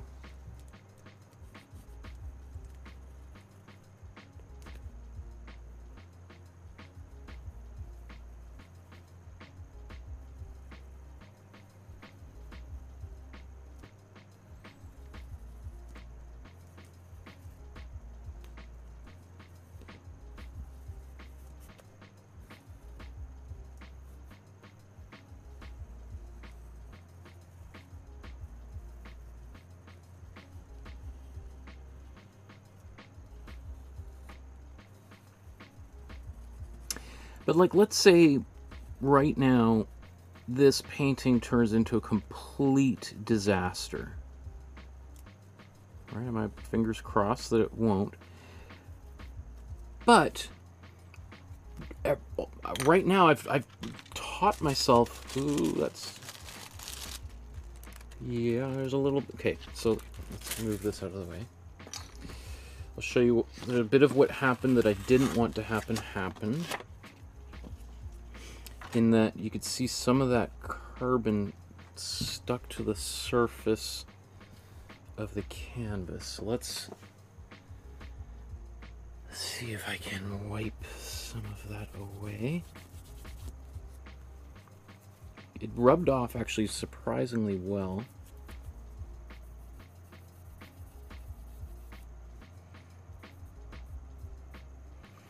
I think I'm just going to try to gently clean this off. Just wipe any excess away. Almost like I'm trying to get rid of it.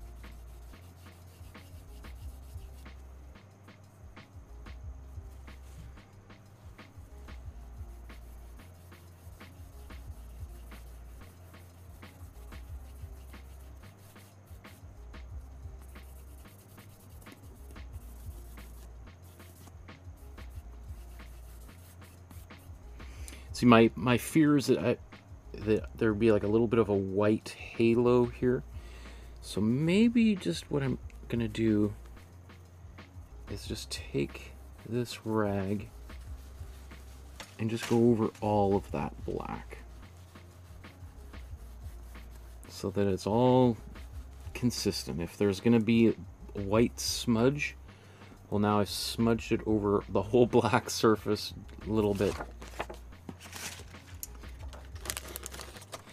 Now, obviously, I could have done the the um, satellite, not satellite, the probe, Voyager One. I could have traced that as well, and maybe I, maybe I'll, I'll still end up doing that. We'll see. But I thought let's get the the rings in because the satellite is going to be in front of this, and obviously also lining this back up to the texture. Impossible. So let's let's cross that bridge if we do need to do so when we get there. So, as I said, I've, I've I personally have learned a lot in this episode already using trying like trying to come up with creative solutions to problems that I might have not well, I guess kind of created for myself, but would have inevitably came up with that that I can only kind of conceptualize a solution, but I don't know if it'll actually work. So here, like the little dotted lines, or little dots that I put to help me see the outside of the of Saturn, that worked way better than I ever thought it would. And so that probably would have been a, a really good solution for the rings and even for the the um, space probe Voyager 1 rather than trying to paint with texture. Um, but I wouldn't have known. I mean, I, and again, I could have painted this whole thing black and then just painted or done my tracing over top of it. That could have also worked. But it is what it is now. And so if I was to restart this, that might have been the, the best, fastest solution is to use white carbon paper on a black background.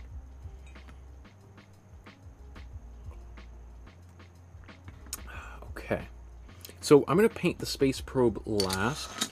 So the so really what I want to do now is let's paint Saturn. And I want to paint the the planet and then the rings afterwards.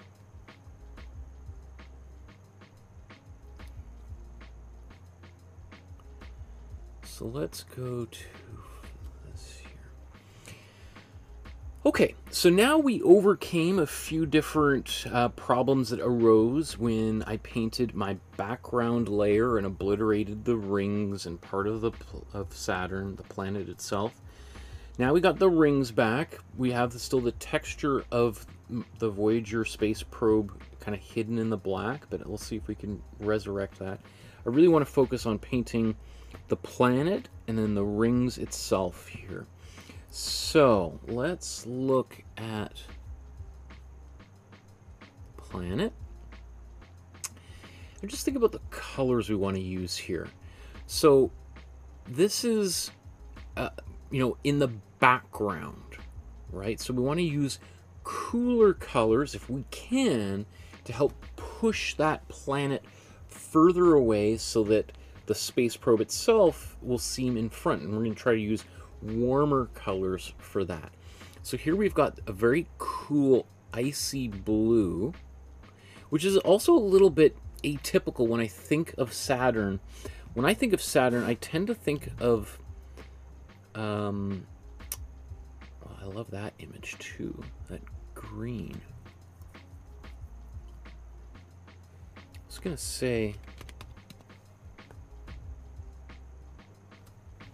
Let's look up Saturn Voyager.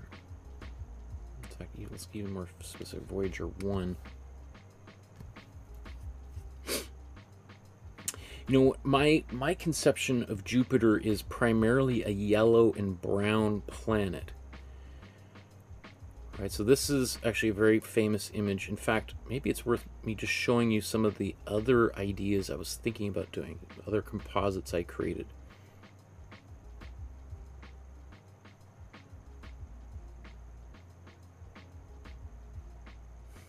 Right? So I spent a lot of time even using different images of the space probe before I landed on that one. I kind of liked this one facing Saturn as opposed to facing away from it seemed to make sense even though we don't see the actual inside of the the satellite dish.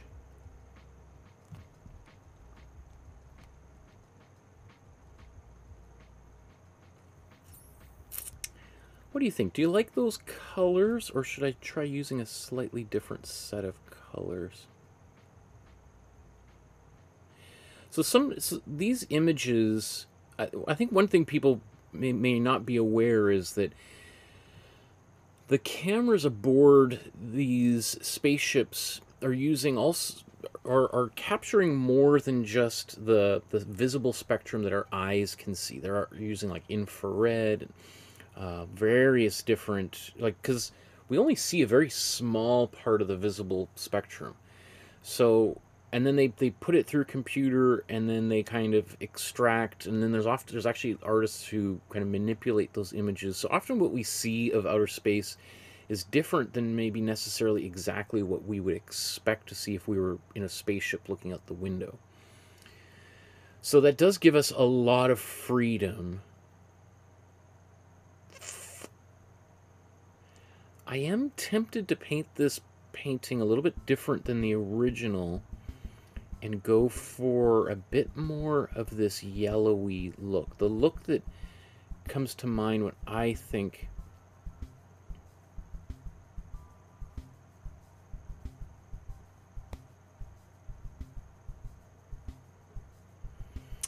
Now Lisa says, I like the colors. Green or blue is nice. Okay.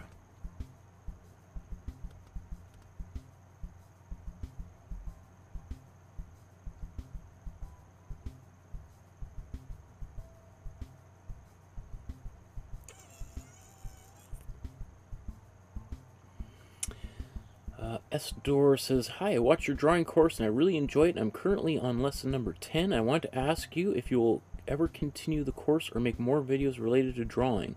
And thanks for doing it. Uh, great question. Uh, the answer is yes. Probably it's going to be about six or seven months before that. But I, I do my one of my long term plans is is redoing the entire drawing course and updating it and giving it a little bit of a cleaner look but probably I might do what I do with the Master Study series, but do that with drawing, like the, instead of just paintings, like I've been doing for the past couple of years, do drawings instead, because I often get tons of questions like, show me how to draw Dragon Ball Z, or Super Mario Brothers, or Zelda, or such and such. So, um, that's something that I'm, I'm strongly considering. Great question. Thank you. I'm glad you're enjoying the drawing program. So,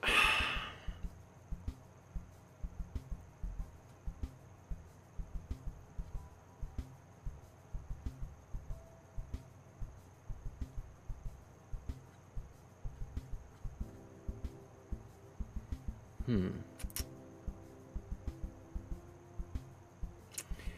Well, one thing I do like I often I see that there's almost like a bit of a bluish glow around the edges. So maybe it makes sense to apply a thin cool blue over top of all of this and then Okay, so let's let's do that. I know there's I'm diddle daddling around trying to conceptualize this here, but uh, I'm gonna put just a little. Well, let's put a bit more.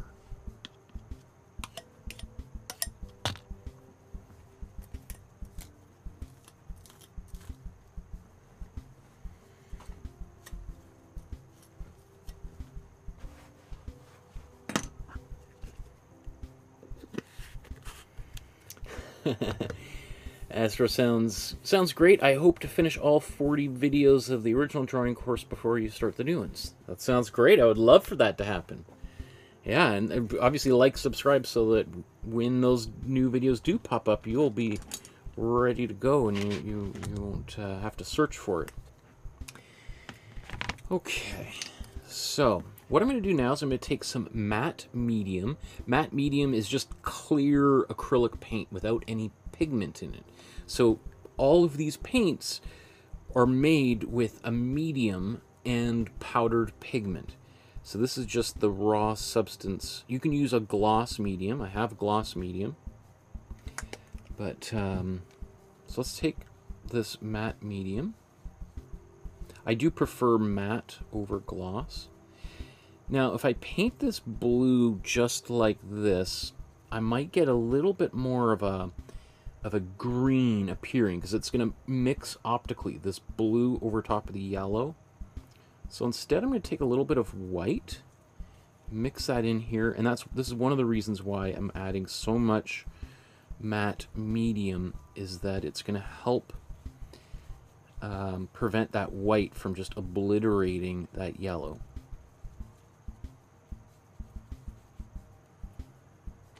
So let's put these side by side here. that's pretty close. I'm expecting a bit of that yellow to come through. I, mean, I didn't put much white in there at all.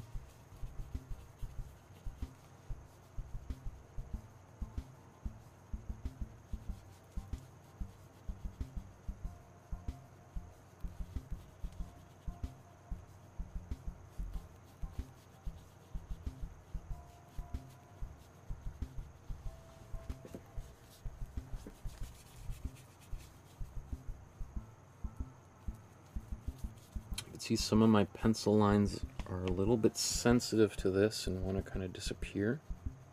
So that's another reason why that matte medium helps prevent that paint from getting too opaque.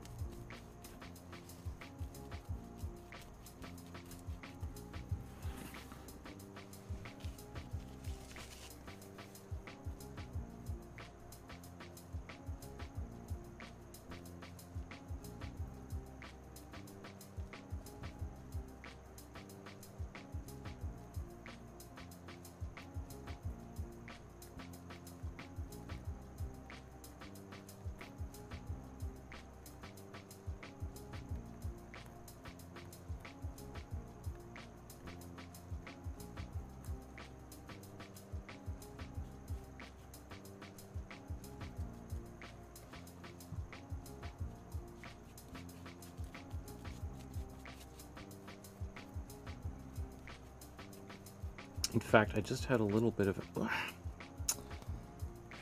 paint.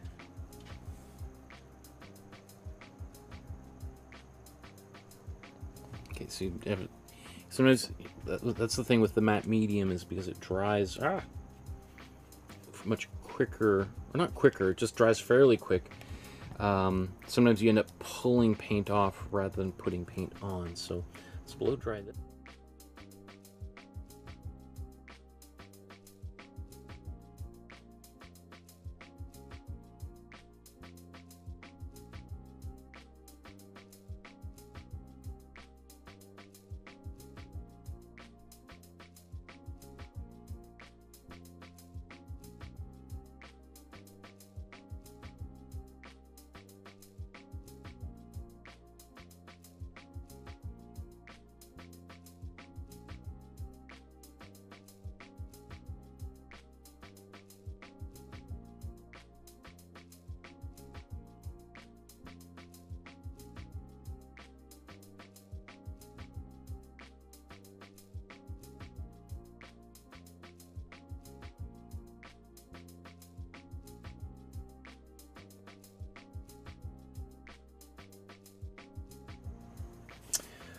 Okay, and I just had a little bit of a brainwave of maybe taking a bit of glazing fluid now and just giving a little bit of like a a soft edge around here.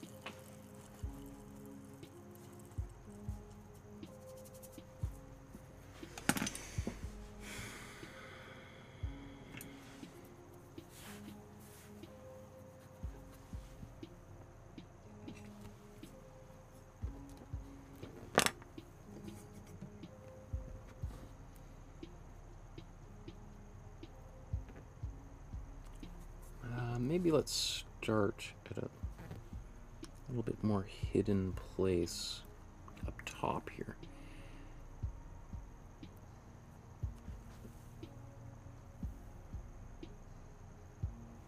Okay.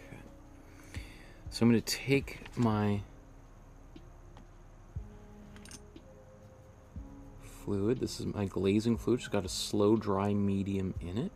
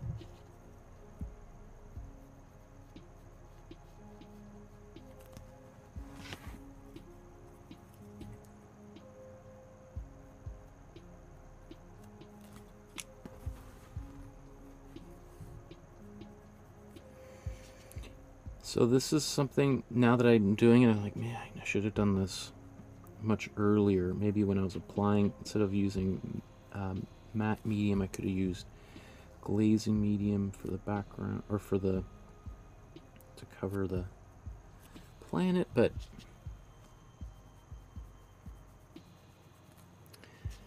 I think I'll live and the I think the paint police have, are always investigating more egregious examples, things then uh, always seem to turn a blind eye to me, maybe to you as well.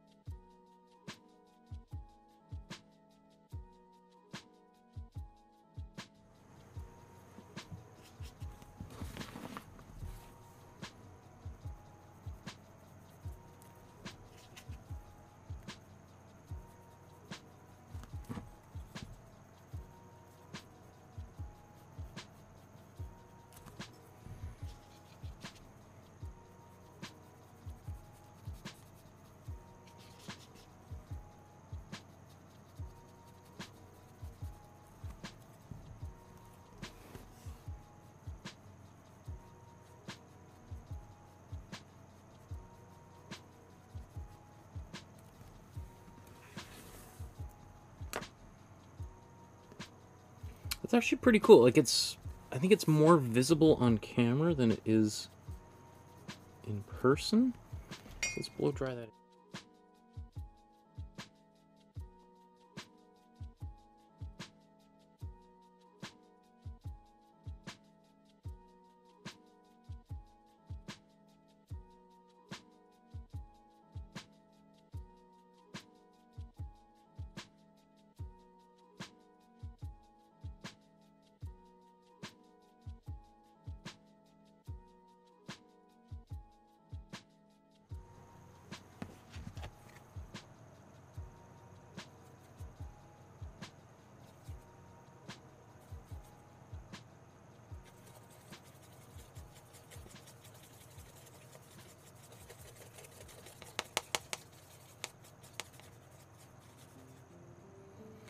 Going to do that again. I really like this effect. Ooh, yeah, just softening out that edge is also going to make a huge difference in making it look a little bit further behind, slightly out of focus.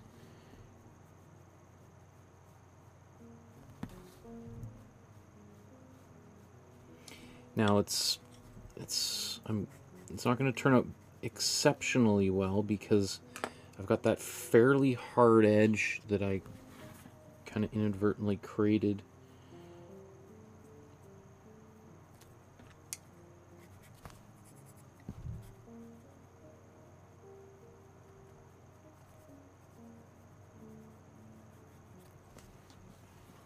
But that's kind of cool.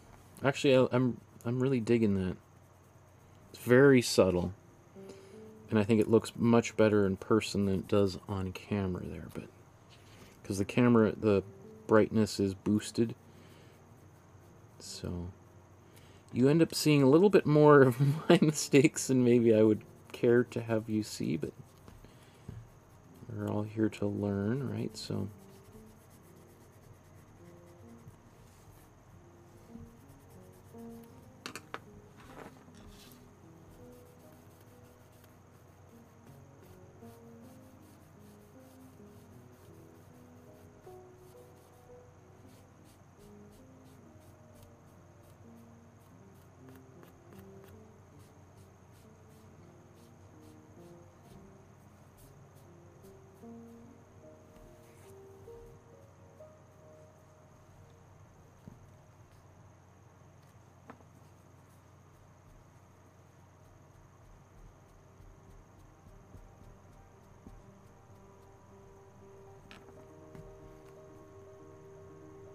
So I think, I mean, again, it doesn't look exceptional in person or on camera, but in person, I think that's going to look really nice. I mean, I could, let's just, uh, I'm actually just going to blow dry one more time.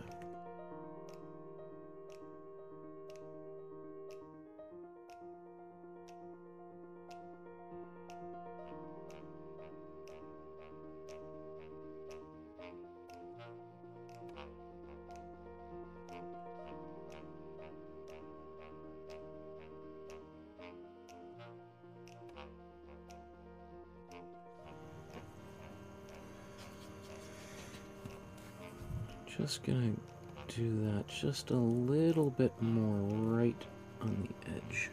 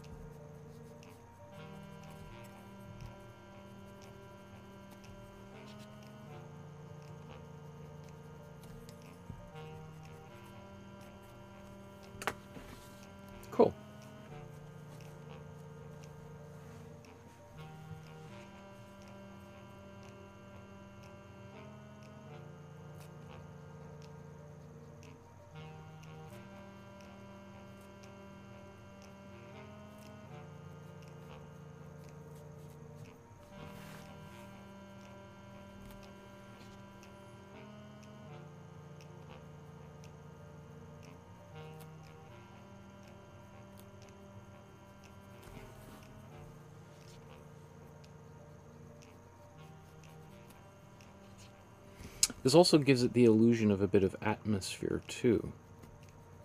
Right, that it's not just a, a hard pebble floating around there, that there's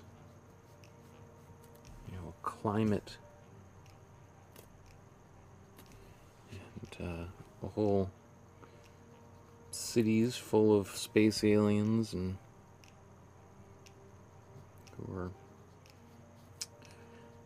uh, keeping an eye on the Holy Grail and the information about JFK's assassination. It's all being carefully orchestrated by our our sat uh, what the sat Saturnites Saturnians Saturnians okay, I like that. I like that looks great.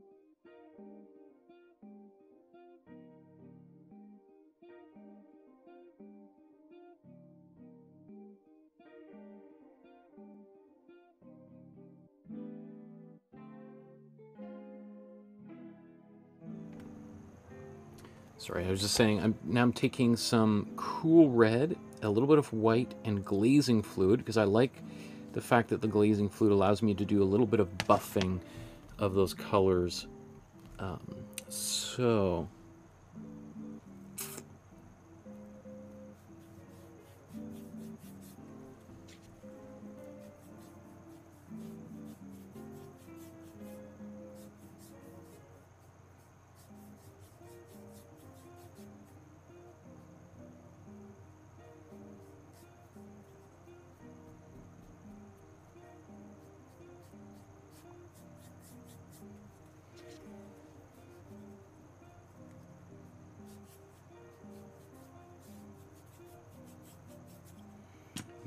let's not only just buff the, the, the front off, let's.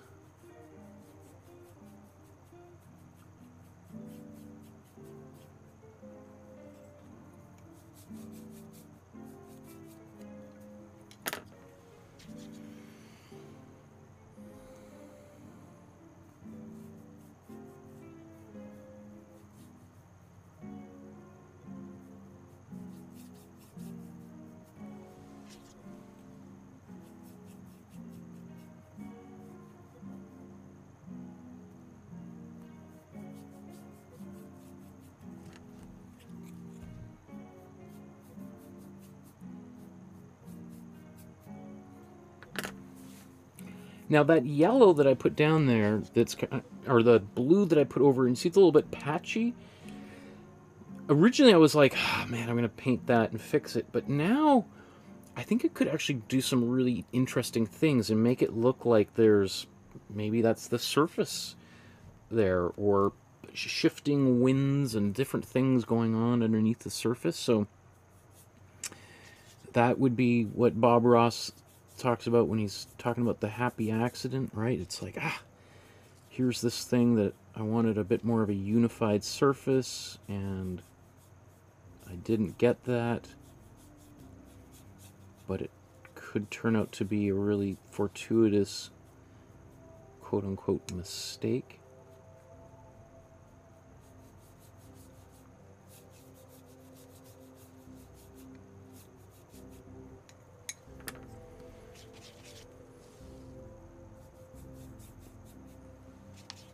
I could see myself now spending hours doing this, creating all sorts of of stripes and things. I want to try to wrap this part out in within the next 45 minutes at most here.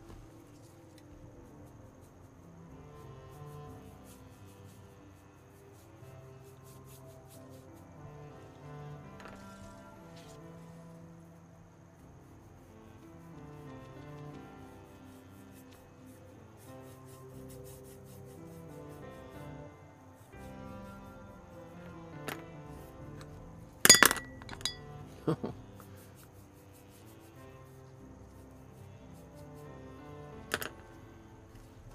that on camera?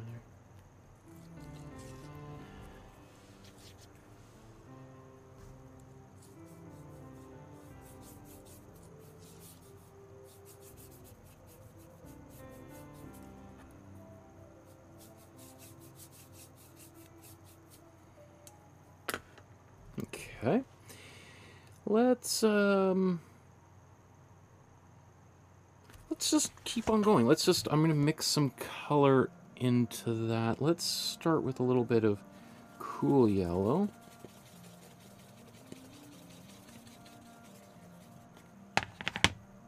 You know, I should blow dry this. I always tell myself blow dry it and then I never do and then I end up wiping paint away. Get impatient, so let's do the right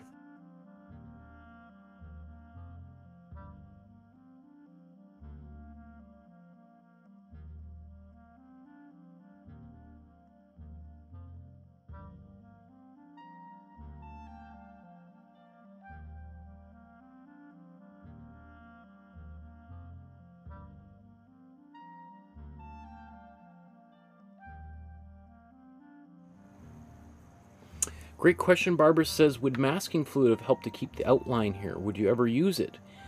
Um, that's a good. You know, I don't know if I've used masking fluid in one of these episodes. Maybe for next week's episode I should. I have a big jar of it that I've been meaning to use on one of these episodes. And maybe next week's would be a good time to use it. It's going to be kind of um, bit of a different. We're going to be sort of painting a sculpture. Or painting painting a photograph of a sculpture. So maybe we could. I have to think about it. Is it the appropriate time to? Well, maybe. Uh, yeah, let's think about it.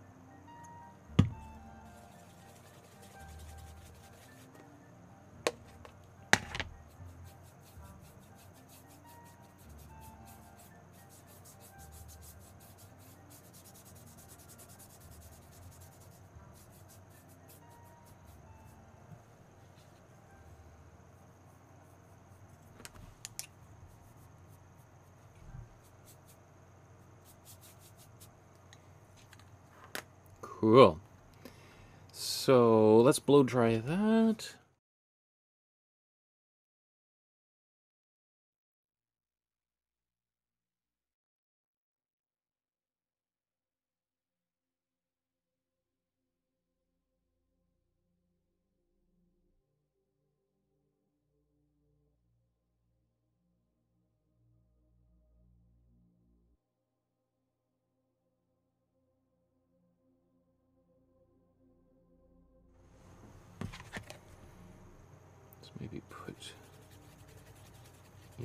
Yellow in here.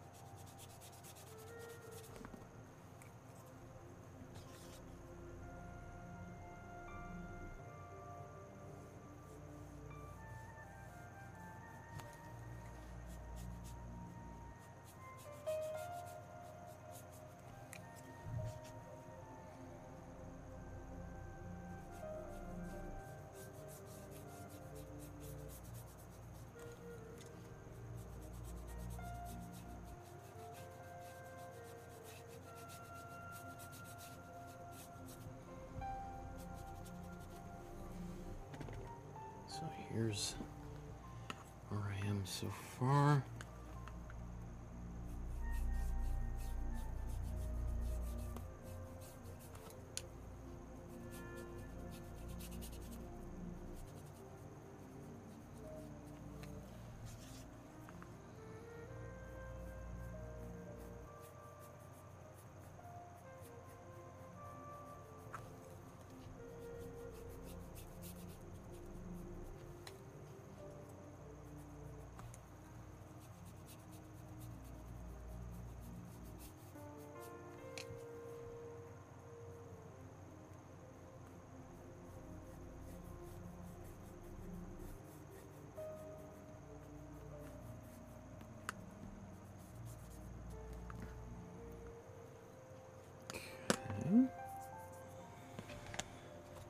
Let's take a little bit of blue. This will turn into a bit of a brown. That's perfectly fine. Actually, really dark blue. That's that's great too.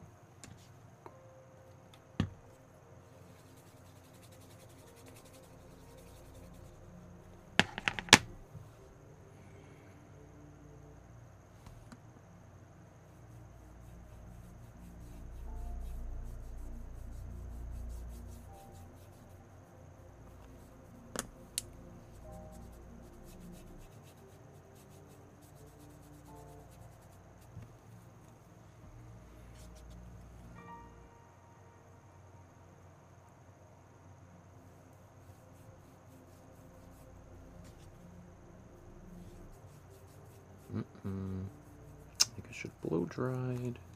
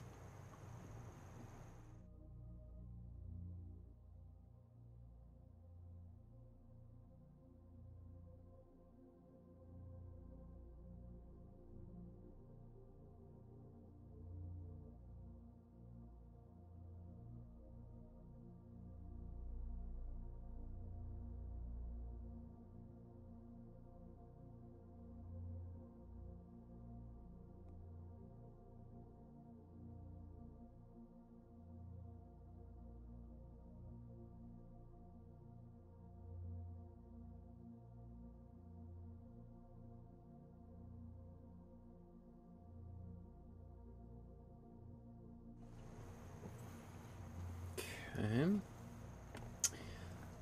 Let's. uh,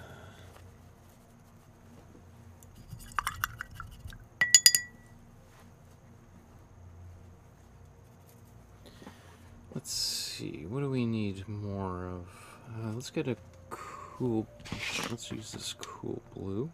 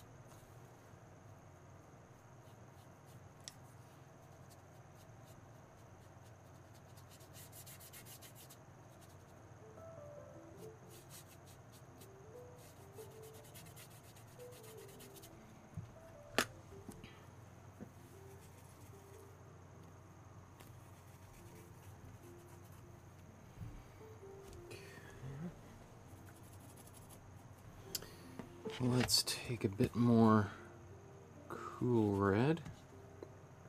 I'm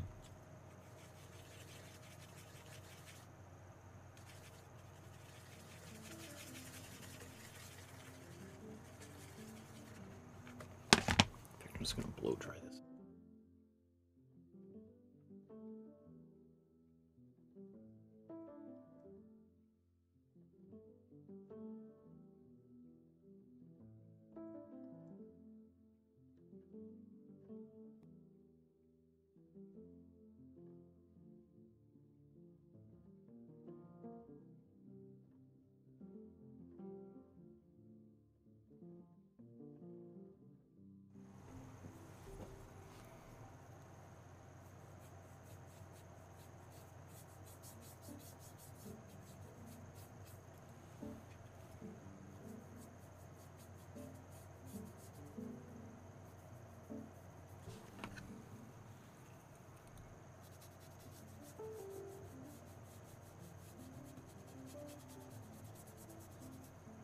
Okay,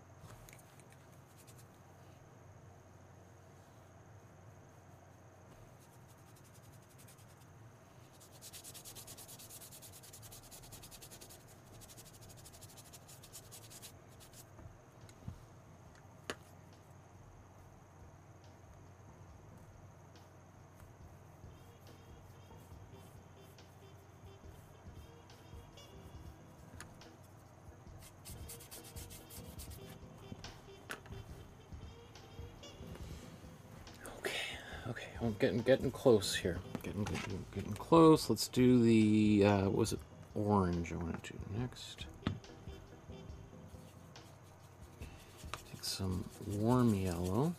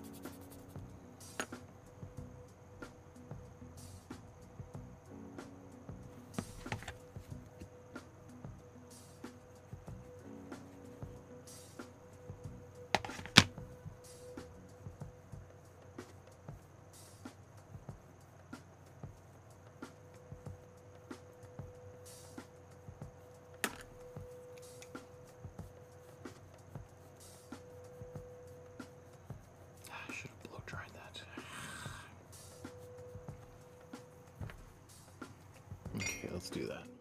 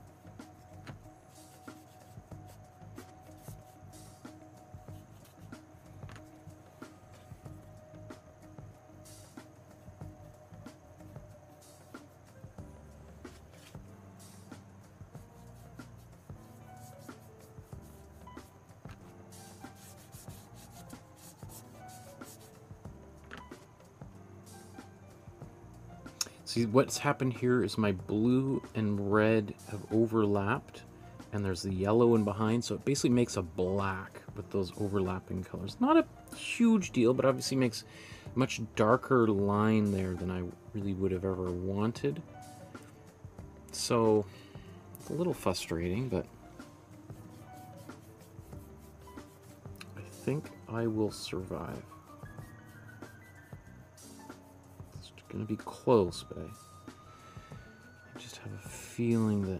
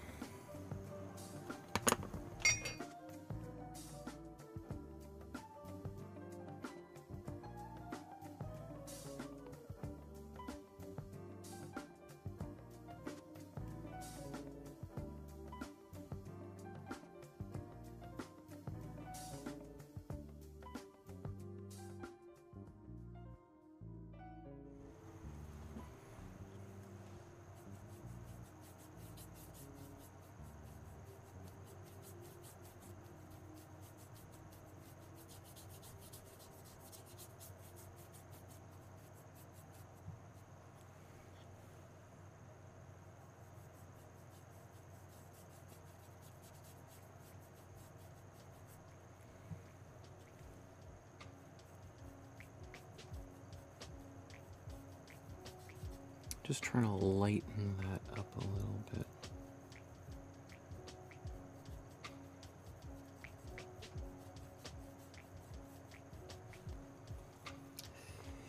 I think I might be making that worse. Now, do I wipe that away or just leave it like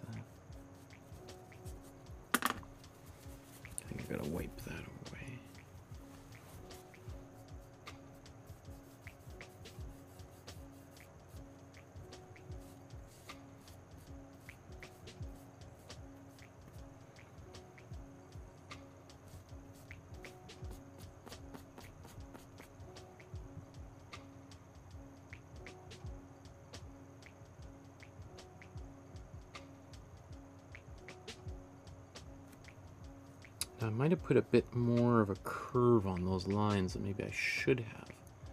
Especially that one. But that's okay. Let's move on from this here. I'm going to blow dry that, and then I'm going to do the rings.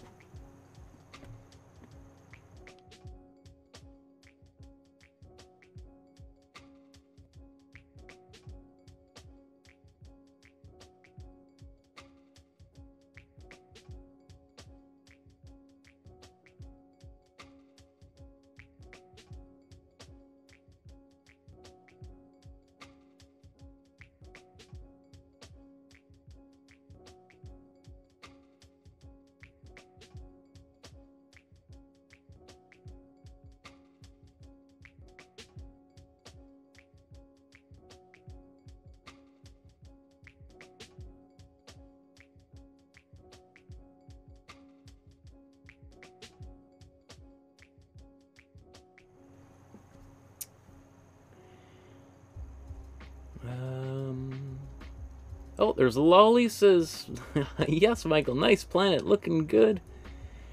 Um. Lolly says, "Either I look like an alien or my painting is very bad." Oh, doing a self-portrait. Okay. awesome. Okay, so now I want to put the shadow on the on the surface of Saturn being cast by the the um, the rings here.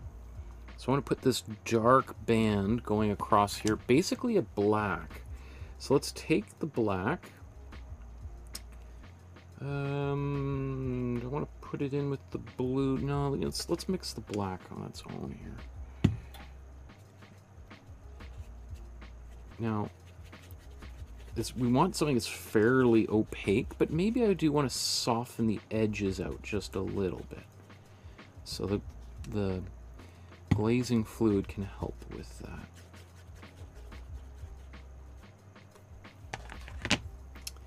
So it might be worth just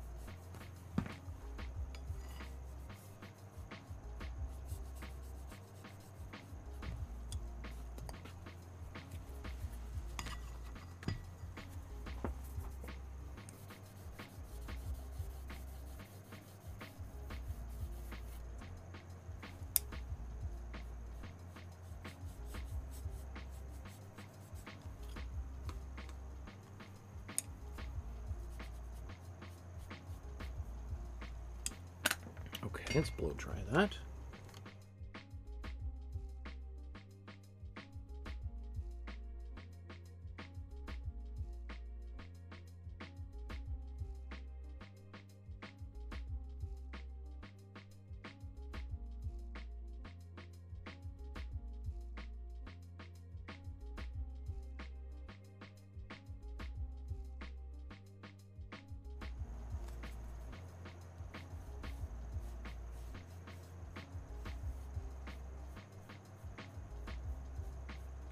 And notice how this one, unlike the other bands, goes right off to the edge and connects with the black of space there.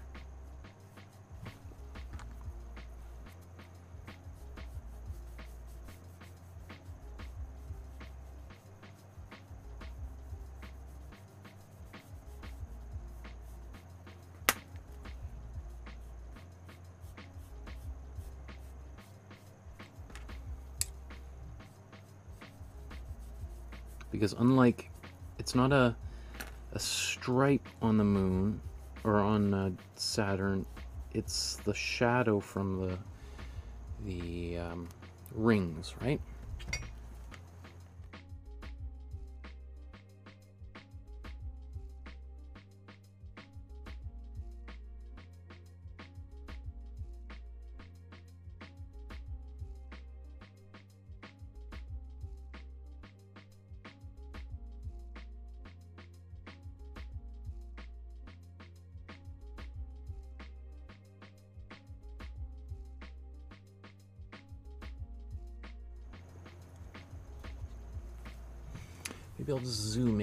So you can kind of see how this is developing.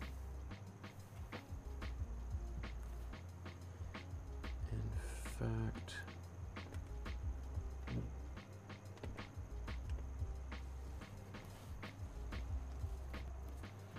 So you can see I, what I've been doing so far, just softening that edge, just so it's not so harsh.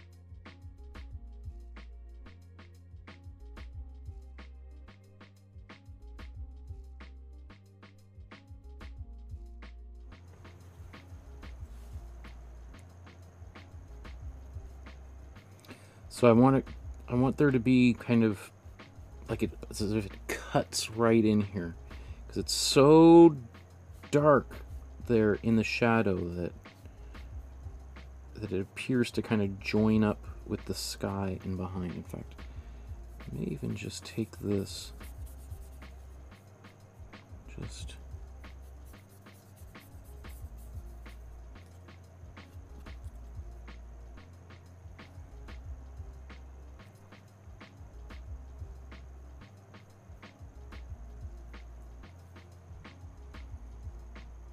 that's pretty good.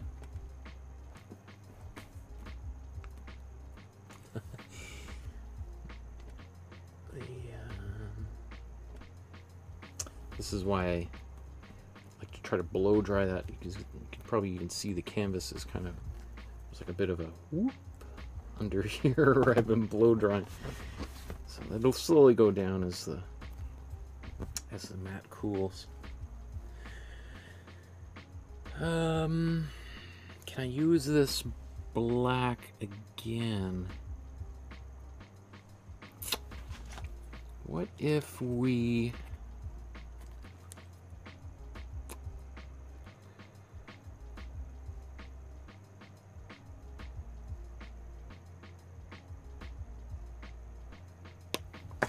I was gonna maybe do a no. Yeah, I'm gonna add no, no, no.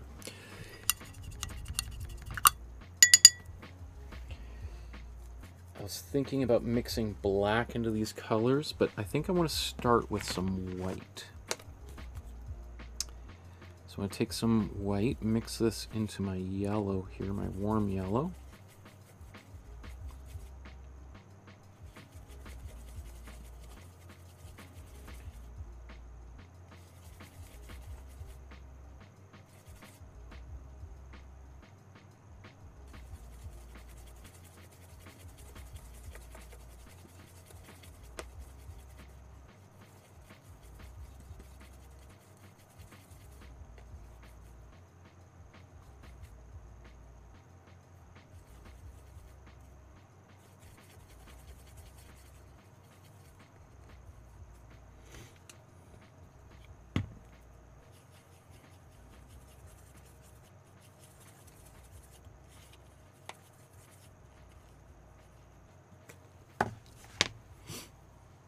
Okay. Let's just take a look at how I want to do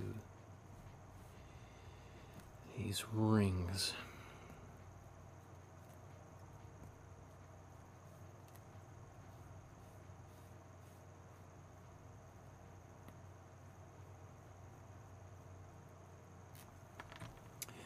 So I'm going to fade them out as I get close to that side of the planet.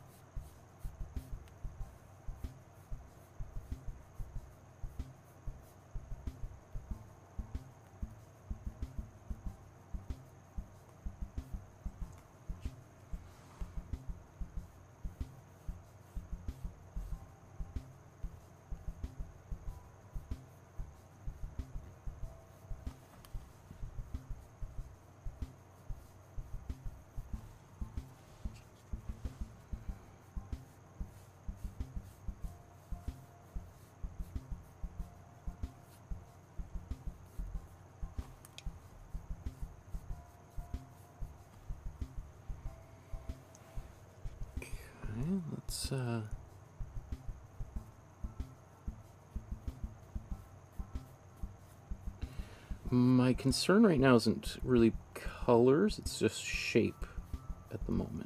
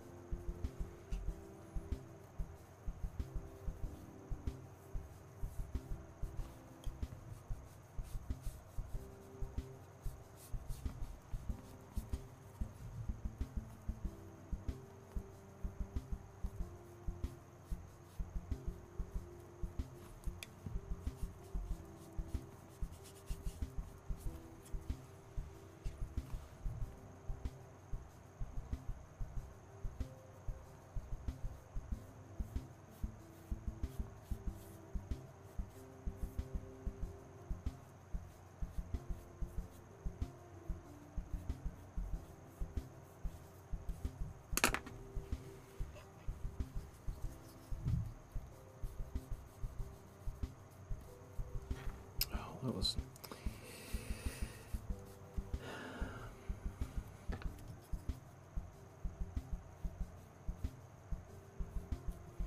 So I must have kind of goofed on this line a little bit. It looks like it's tapering inwards when I don't want it to do that.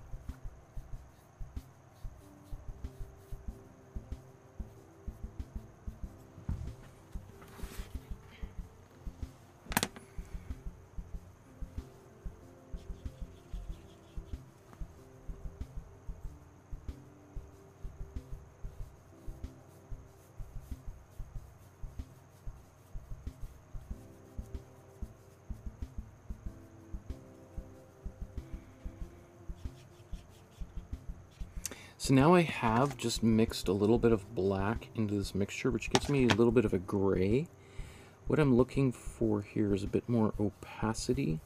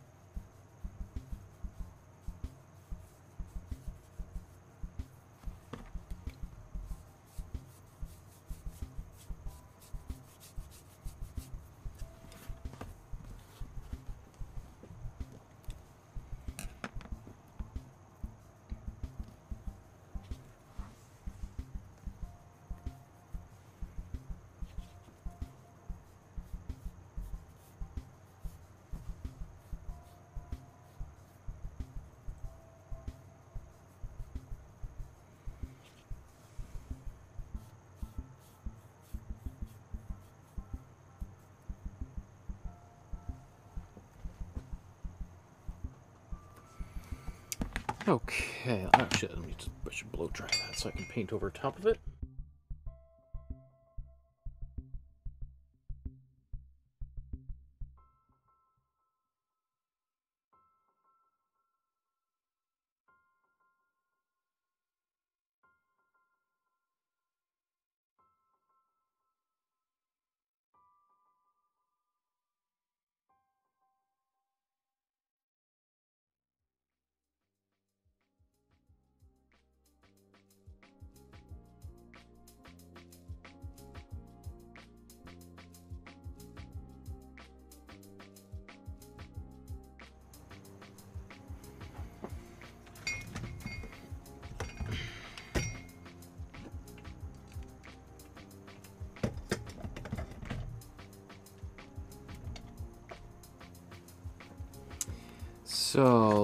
Let's now take, let's take this red again.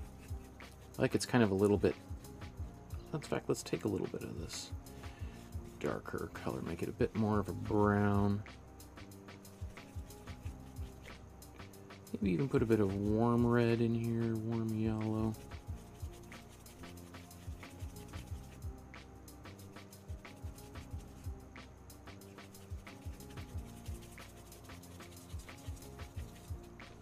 I got a bit of warm red, warm yellow, cool red, and warm blue.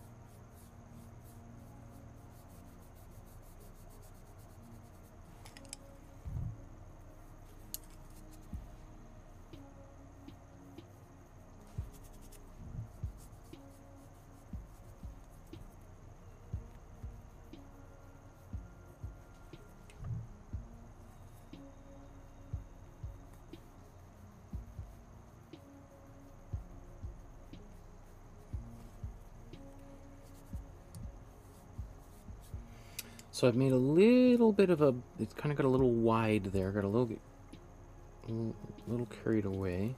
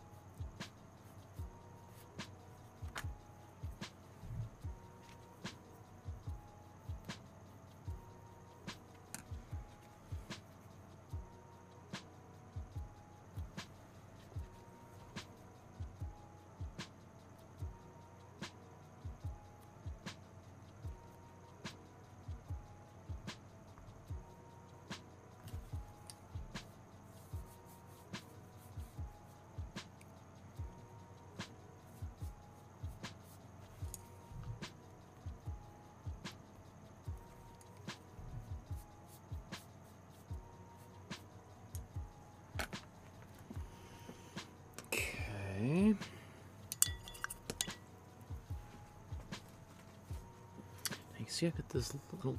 I'm gonna have to see if I can kind of paint some of that out.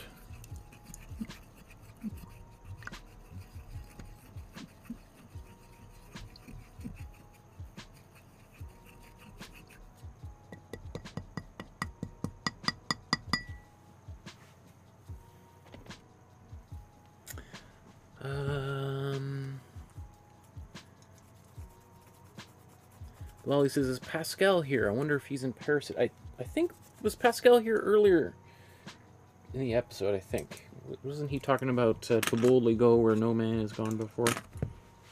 I think he's here. He may, he may not still be here, but he's he was here. uh, do I want to do any more nuance in here? Like, let's say if we look at the original, you know, all of these are just, you know, hundreds of millions of tiny little rocks. So, how could I simulate that? Well, maybe little bits of just slight, like little dots, I think, might be kind of nice. So, let's get a small brush. Maybe let's mix up a paint first. Let's get a kind of... Let's get a little bit of blue, perhaps. The same blue that we had here. Let's, uh... A little bit of glazing fluid. Let's get some blue.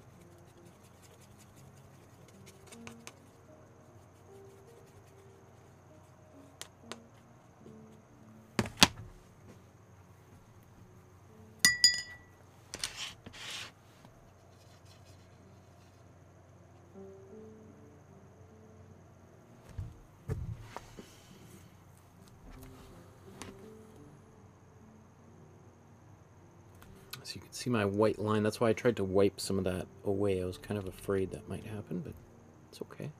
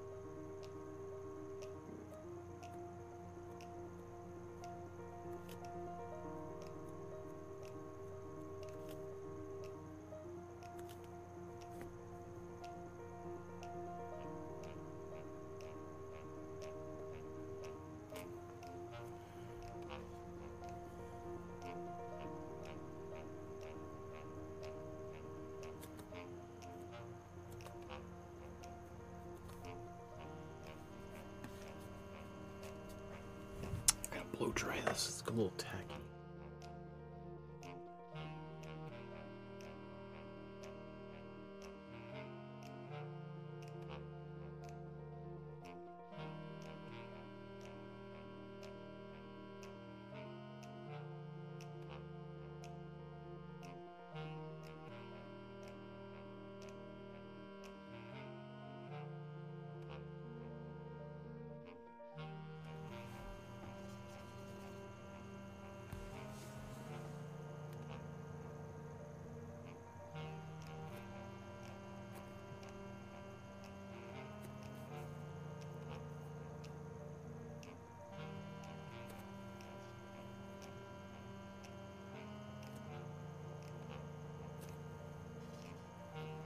So this, I think, you know, we see these little bits of reflections in some rocks and things that are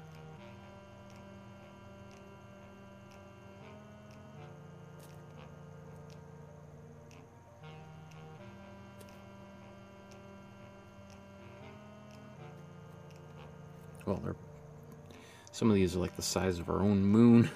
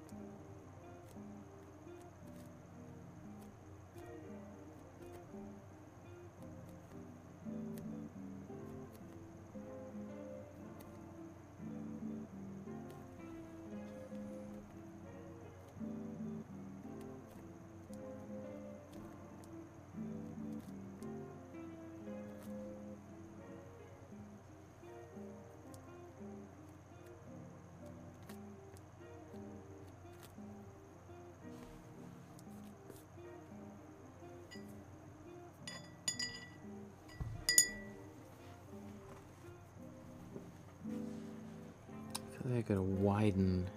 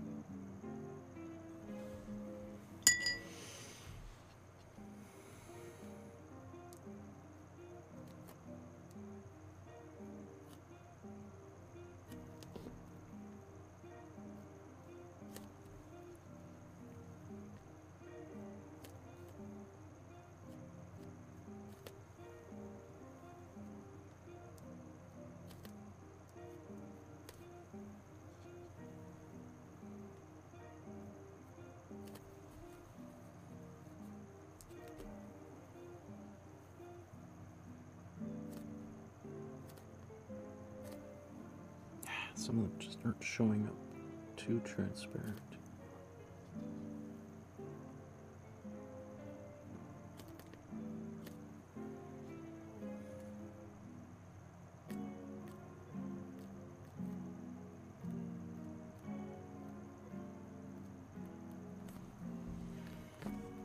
Okay, let's just take a quick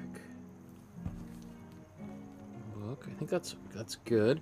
I just want to do just a little bit more. Like, what could we do? Maybe a green?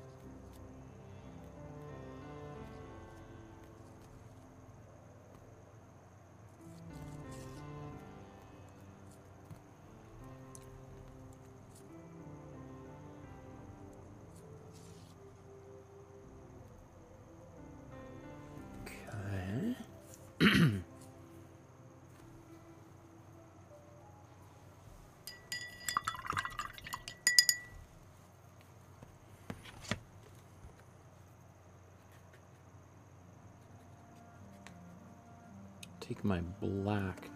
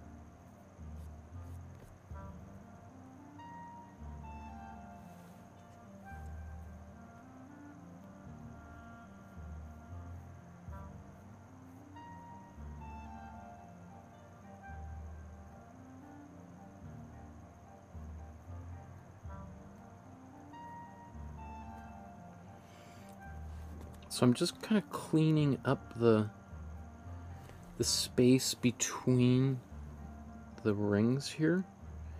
Which, you know, as I blended things out, they kind of got a little bit, they got very soft. Which in general was fine, but uh, I think just a little bit of clarity back in here would be nice.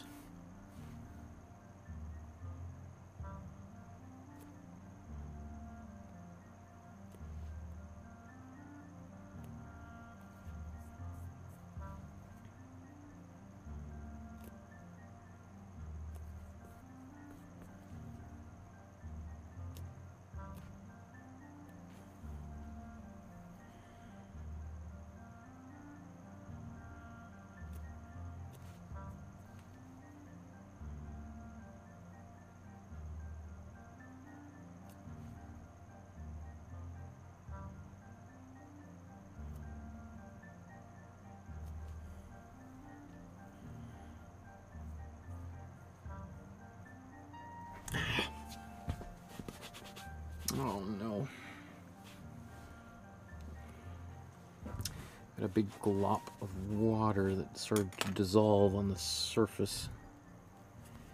Here, I didn't even notice that. Ah, there's another one there. Let's just see if I can.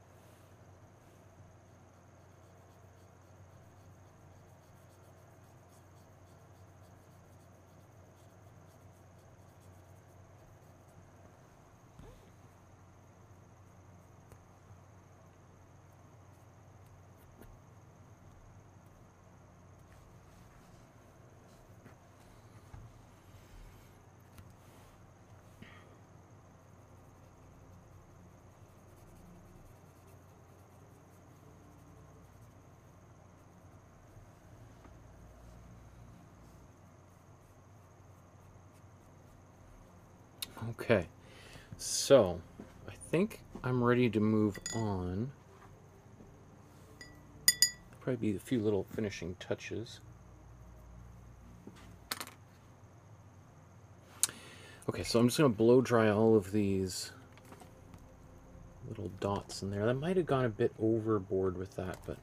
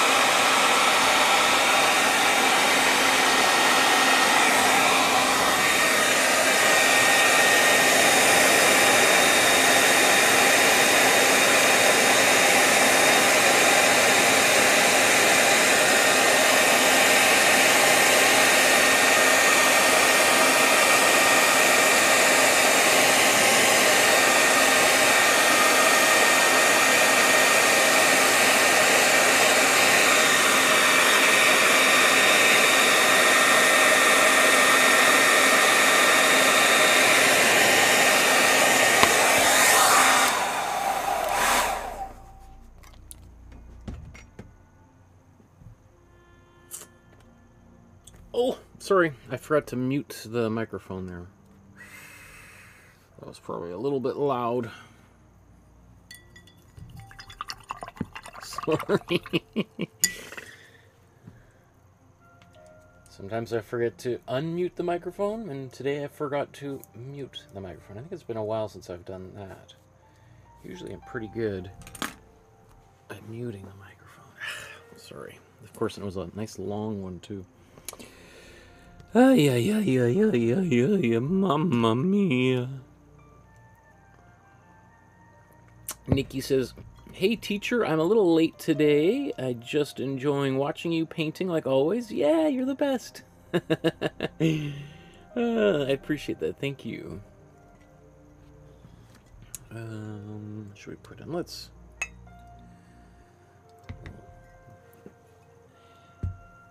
Drink out of my daughter's mug. My number one dad mug, right? Every every dad needs a number one dad mug. oh, our daughter went to uh, a well, it's a I guess it's essentially a daycare, but um, she went from preschool to daycare.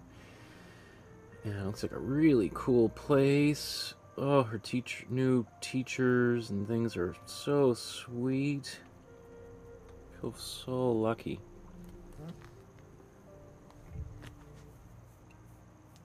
Okay.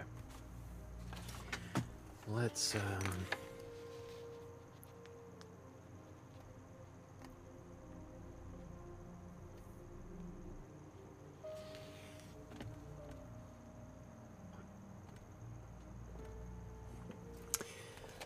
Okay, so now let's focus on painting Voyager 1, the subject of today's painting. We spent a lot of time on the background, getting the the the the, just the space, the, the black of space in, and then spent a while on Saturn, and then the rings. Let's now paint the the probe itself. I keep saying satellite, but it's not a satellite; it's a probe because satellites just tend to orbit, right? So um, let's look at. Actually, before let's just go right to here. Just think about our plan. Oops.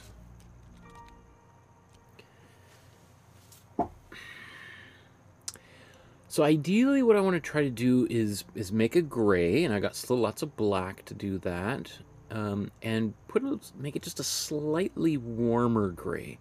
So maybe adding just a little bit more, you know, like warm blue or warm yellow or warm red into the mixture just to help kind of push it forward. Um, also using a little bit more white perhaps to kind of create a contrast um, with the black here. So You'll recall that we began with an underpainting here.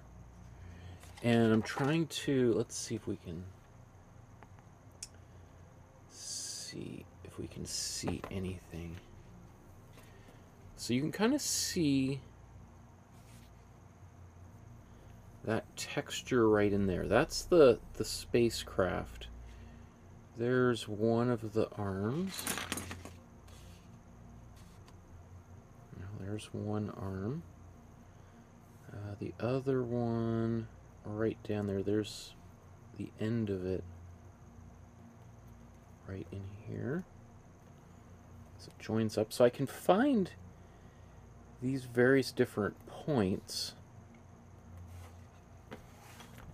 So, which way do I want to do this? Do I want to just sort of eyeball it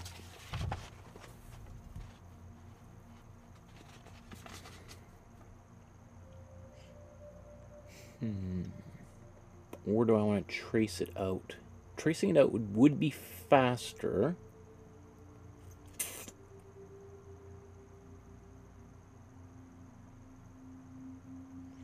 And more accurate.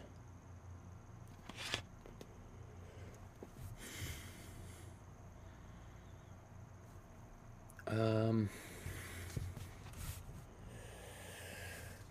because it's almost like if I just paint this by an eyeball it, it would probably turn out better than me trying to to match it back up.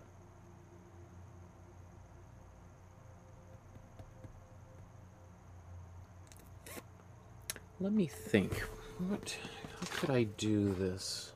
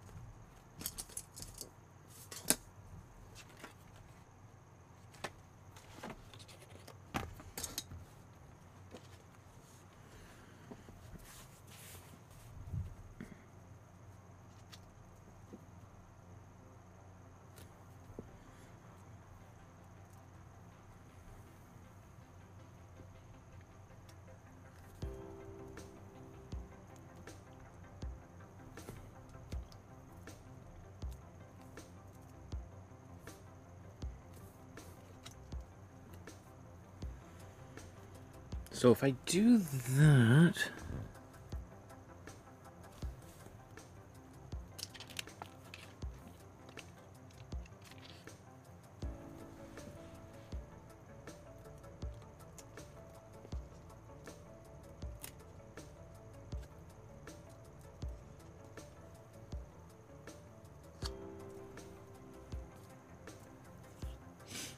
reasonably confident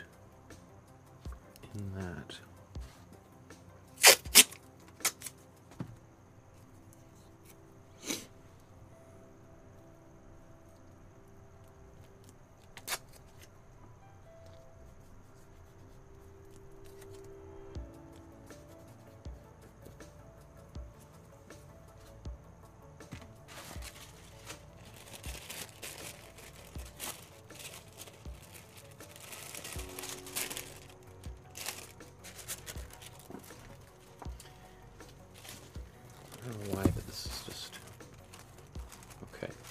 So, it, just like normal graphite paper, it is the shiny side facing down.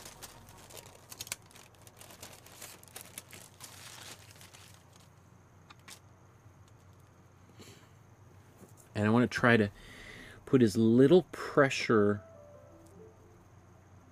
on the carbon paper as po- I mean, with my, you know, obviously with the pencil, I want to put pressure on there, but as little pressure as possible with, like, I don't want to be holding my fingers down here over top of it.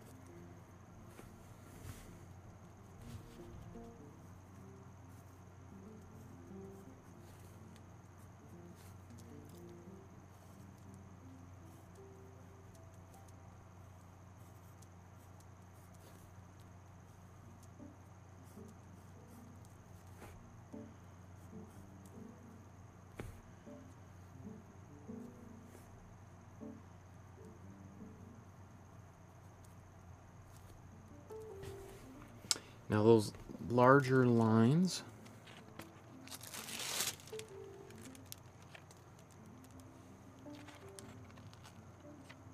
I think I'll do separately.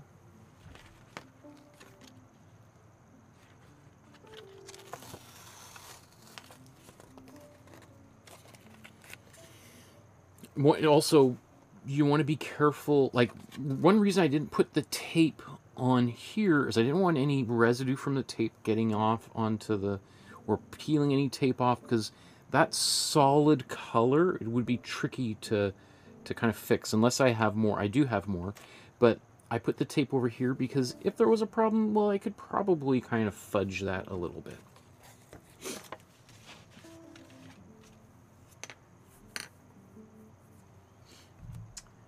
Um, and like last time, I think I'm just to try to, let's get a clean rag.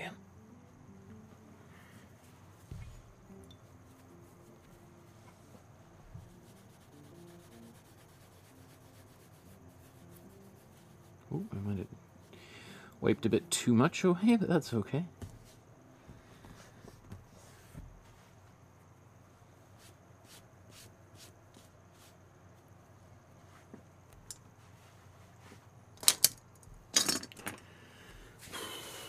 Okay, let's let's see a little bit.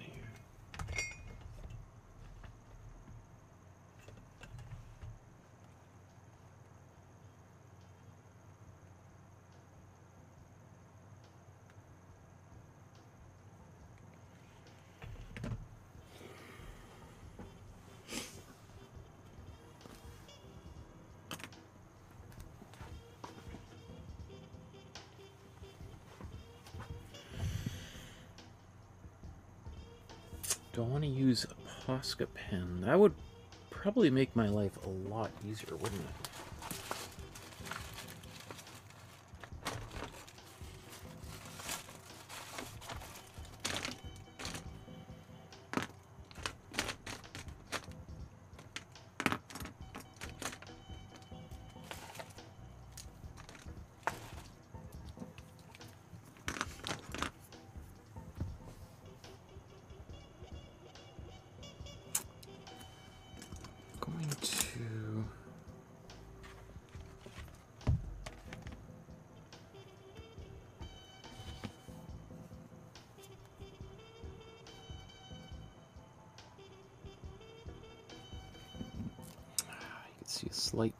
Discoloration here.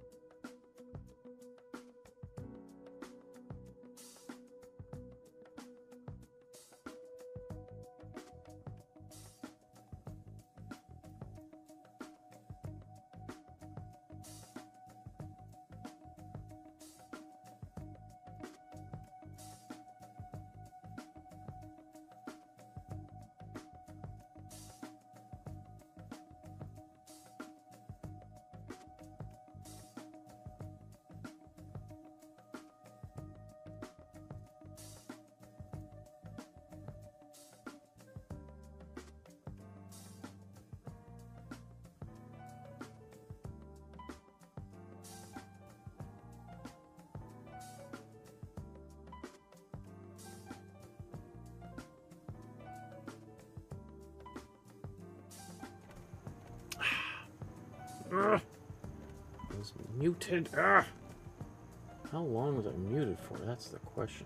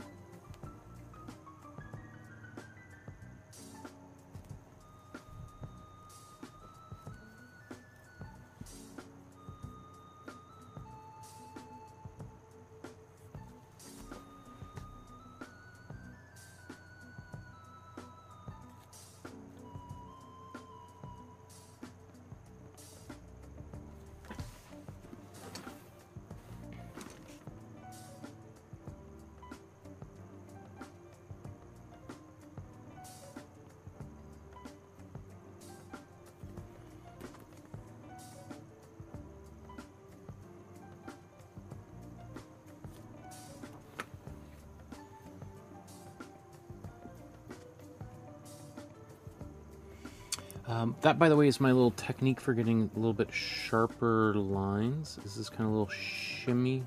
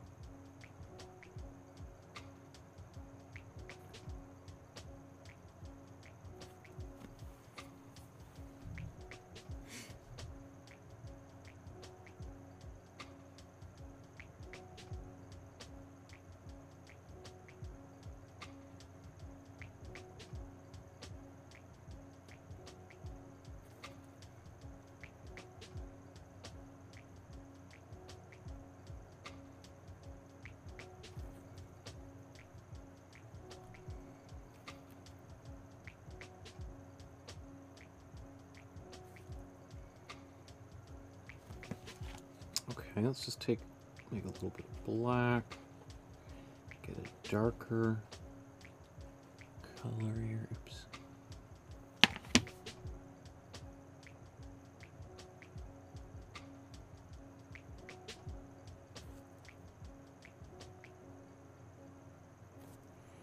I'm not so much at the moment worried about accuracy so much as just getting some colors in place.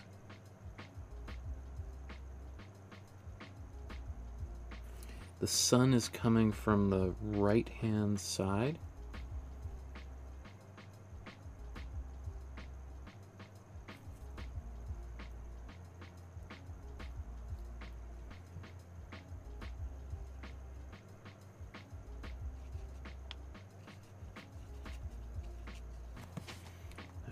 Version with a little bit more white.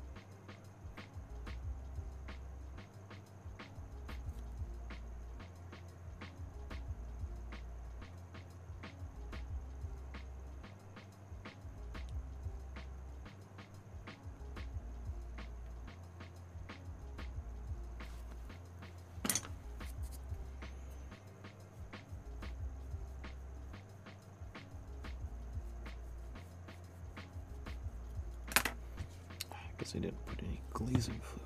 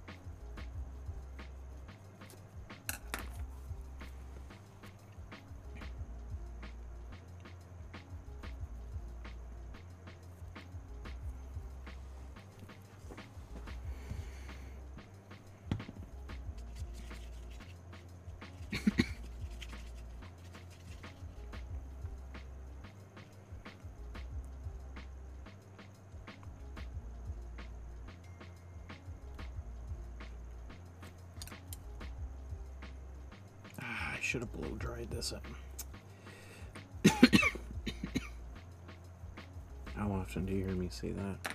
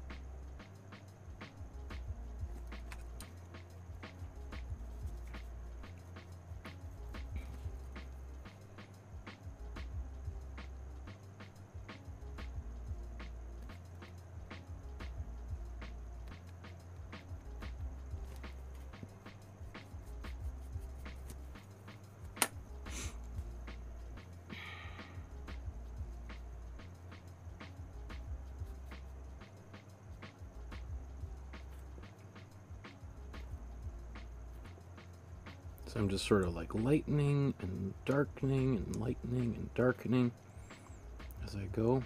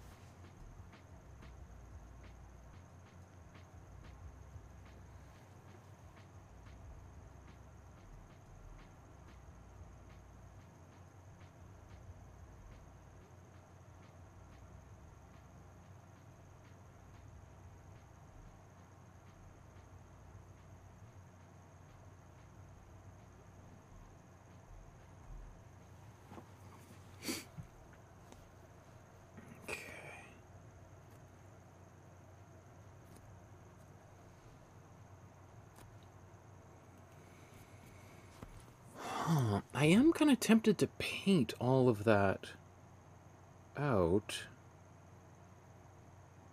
I think I want to just do a little bit more lightening.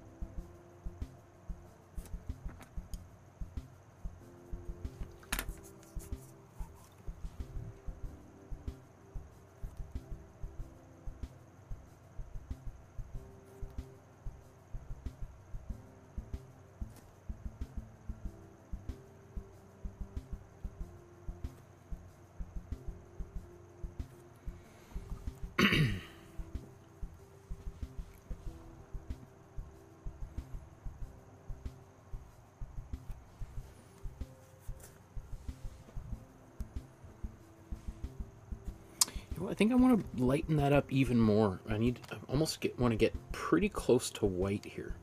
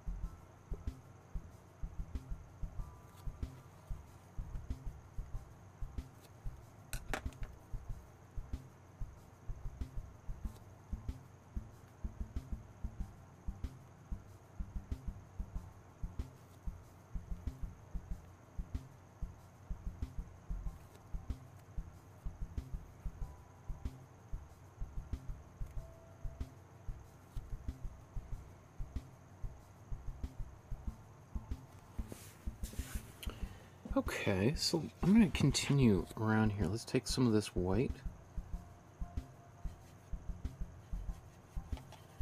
It's not perfect white. It's got a little bit of gray in it, which I actually don't mind. In fact, I'll take a little bit more of it. So that way I can always do a little touch up here and there to make it even brighter.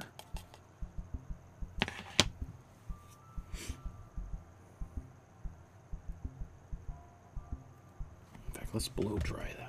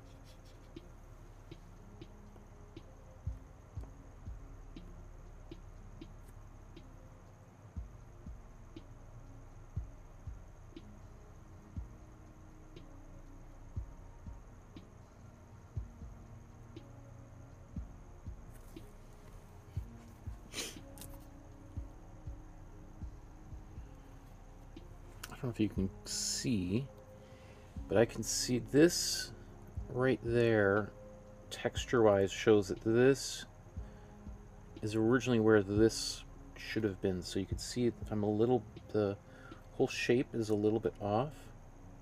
That's okay. That's okay. Just, it's just good to kind of just take a moment just to notice something like that.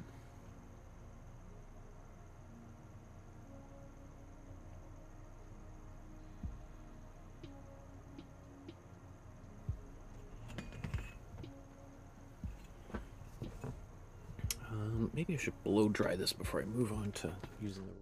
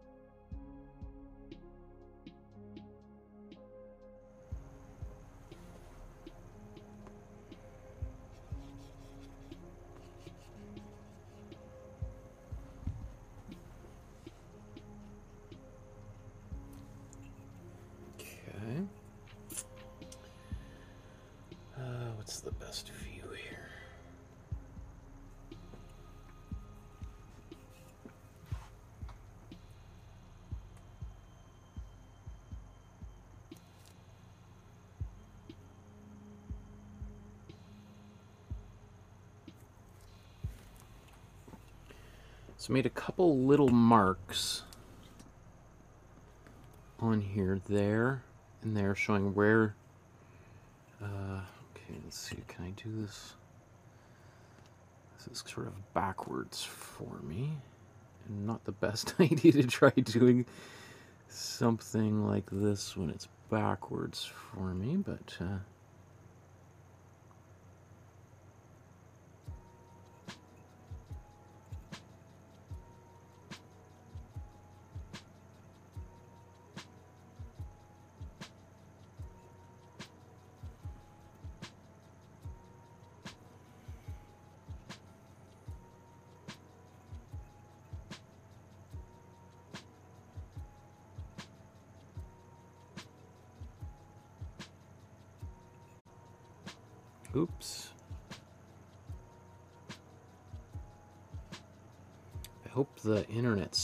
just got an error message. Hope, uh, I hope the stream hasn't just stopped suddenly.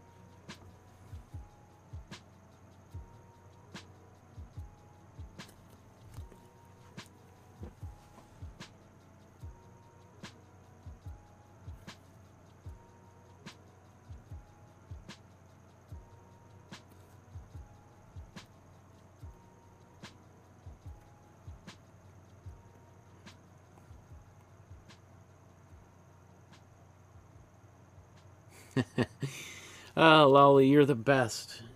Thank you for assisting me there with um, mentions about the subscribers and all that stuff. That's awesome.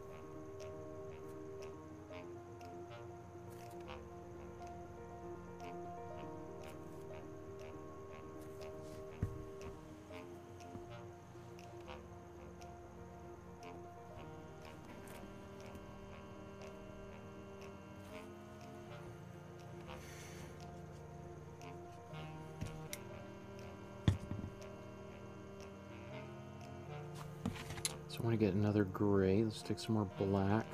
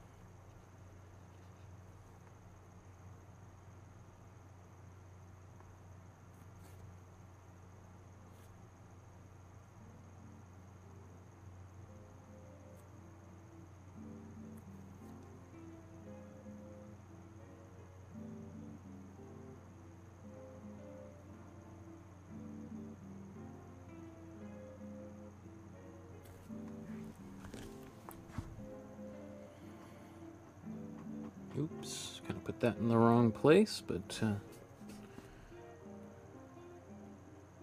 that'll be our little secret. oh, there's the record right there. That's cool. I didn't even notice that until just now. Cool.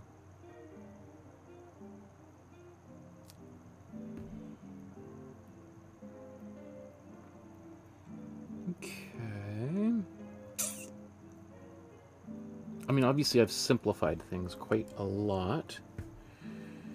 Let's, um, let's put the other beams in.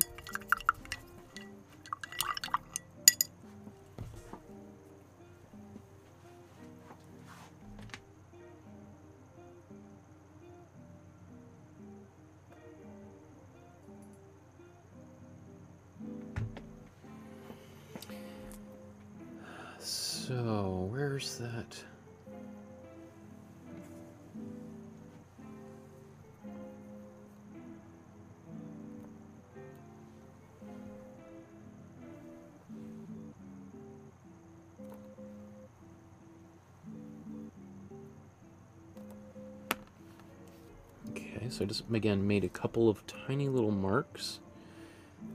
That denotes, that's where the original line was that I painted. So I'm going to blow dry this.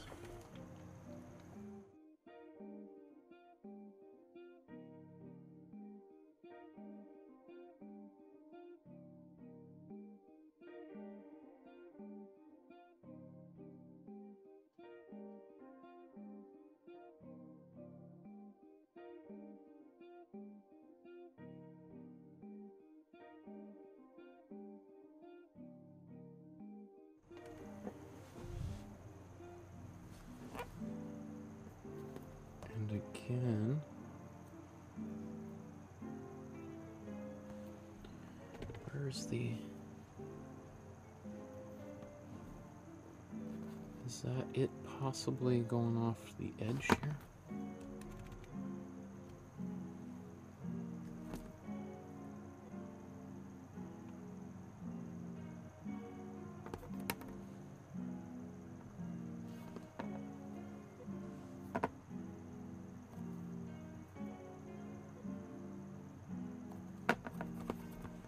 So got another line there. Let's um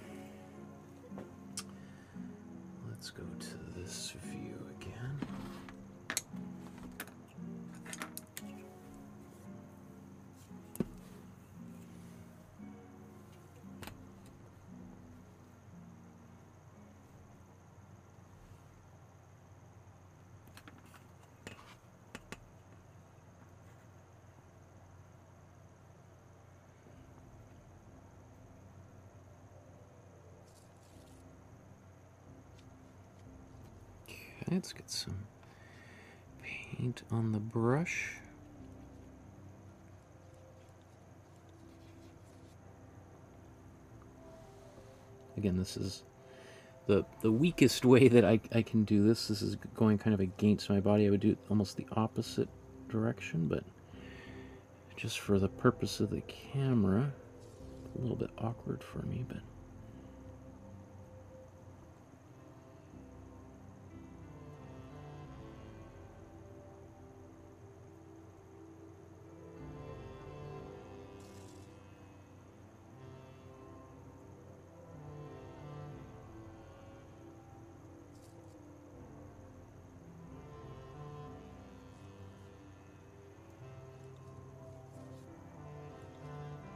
Ay, ay, ay. Okay.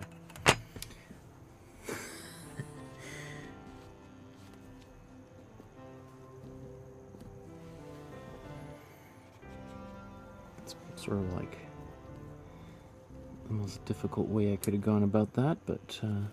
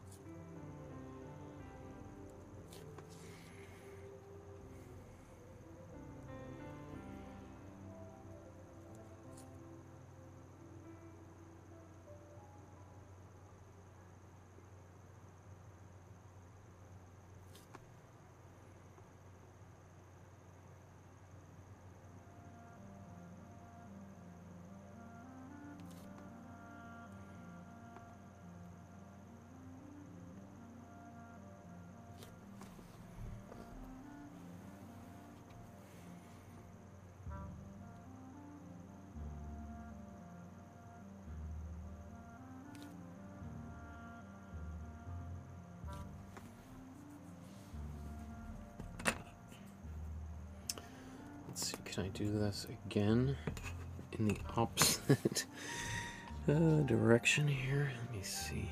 Is that possible?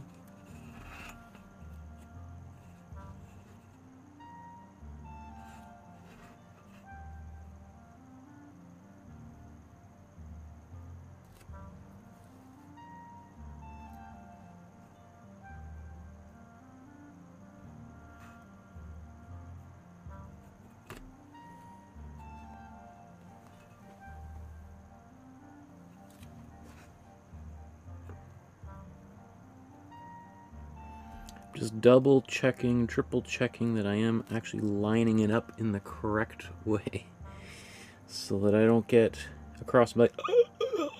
what have I done?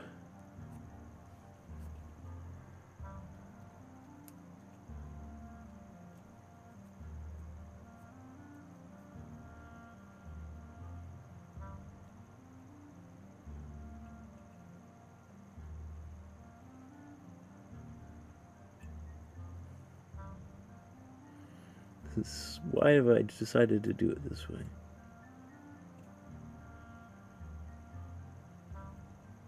Ay, ay, ay.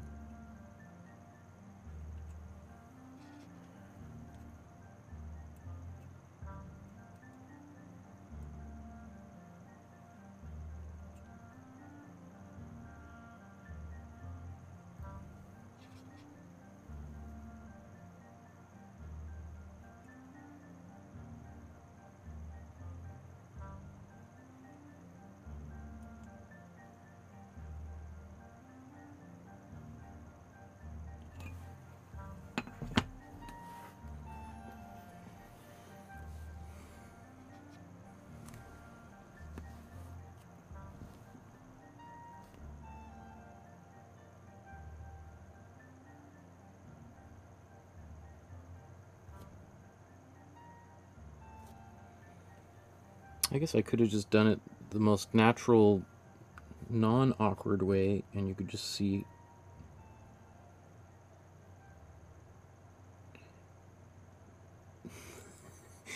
rather than me trying to do it the most awkward way I could find, but uh,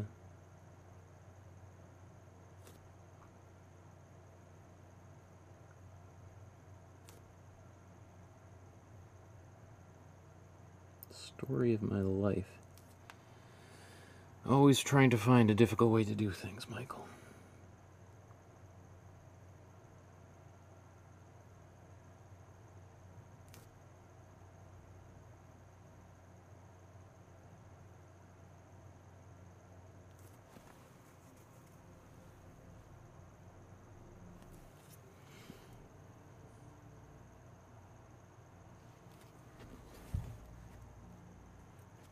Okay, let's just take a look at that.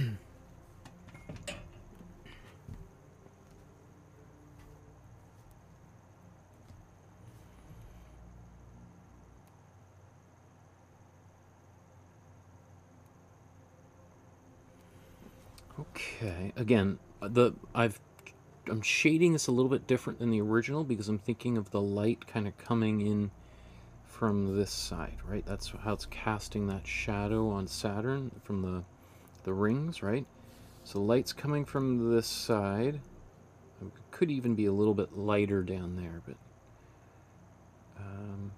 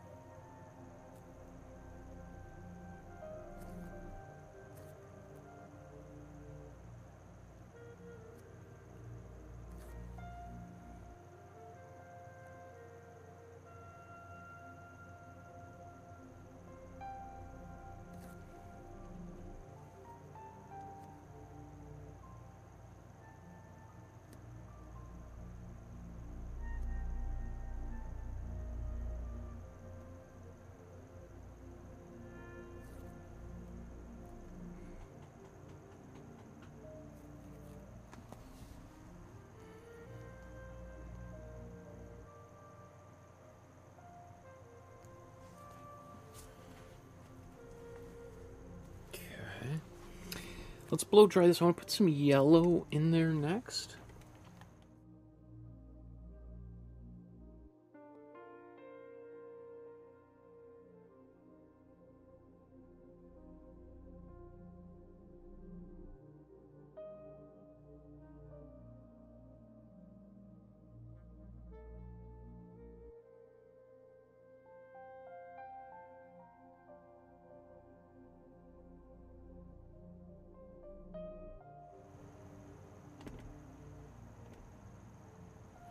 Oh, sorry. Look, look at all these questions. Um. Uh, sorry, Nikki, you left all these comments. Uh, where? Uh, Nikki says, Teacher, after a long time off, I finally finished one of my two paintings. Stopped for months, lol, and I will put it in your group later to see your feedback in the future about what you think. Absolutely, I'd love to see what you've been working on. I'm so proud of you for starting up again after taking a little bit of a break. Totally normal, right? Everybody needs a little bit of time off every once in a while, right? Especially with summer, it's been nice. Now it's getting into fall, and it's going to start to snow and rain, and uh, right. So it's kind of good to ramp back up into those indoor activities. Um, Nell says, a little late. I came to say hi. Also, you are amazing. Thank you, Nell. Nikki says, You are my art teacher who inspires me to always paint, even if I don't have time. I never give up.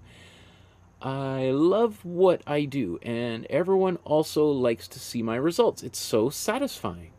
I have a question, please. I once painted the Superman logo, and I believe you even gave me feedback on it, but when I went to make the stars, it, I didn't like the result very much you making this telescope reminded me about space. I always have difficulty painting space, stars, moons, etc. on canvas. Any advice, please, because I always push it forward to do things about space. Ah, good questions. Okay. Um, uh, you know, this one I think I'm going to keep the stars. Um, do I want to I wasn't planning on painting stars. I don't. I could do. Um. I, I might not though, because I, I have done a few other episodes where I did paint the stars in the sky, like this. I think I think all the other ones I've done with space, I've painted the stars. Um, I think just the one thing you want to do instead of painting white stars or yellow stars is to be very subtle.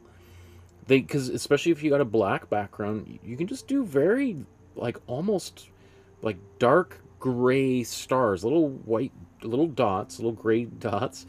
Um, and then if you feel you need them to make them brighter, add a little bit more white and, and go over them again. Another thing you can do is to um, let's do it on the back of this book. By the way, this uh, Algernon Blackwood, oh, one of my favorite authors of all time, and uh, Canadian author from the 1800s. He's sort of like Canada's version of Edgar Allan Poe. Great stories. Uh, just randomly, what the the Wendigo here is one of the best. And this is a gift from my really good friend Jesse, who I just got a text from. He's just drove all the way across Canada, or to Toronto from Vancouver to Toronto, and spending the fall in Kalamazoo, Michigan. So he's just been blowing up my phone here, saying just got into town. Good to see you got in safe, Job. Um, oh yeah, so what was I going to do? I was going to paint on this, right? So let's say we do a star. You know, we might start with like a little dot like this. Like this is a this is the a dark gray that I use to paint in these dark areas. Right? And then if you feel like you want it to be a little bit lighter, take an, another one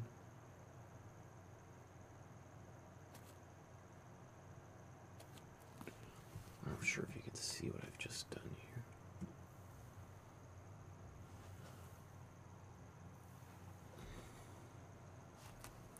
So what I did is just put a little lighter dot inside of a larger gray dot. And that gives it that effect that like that the sun is, or not the sun, or like sun is a star, is, is kind of glowing, that there's, it's not just white, but there's a little bit of brightness around the edges. It's not the best example. Let me see if I'll just try it again here.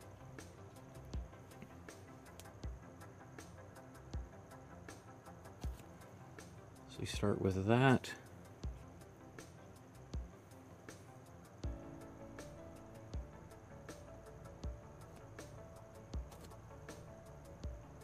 That makes sense.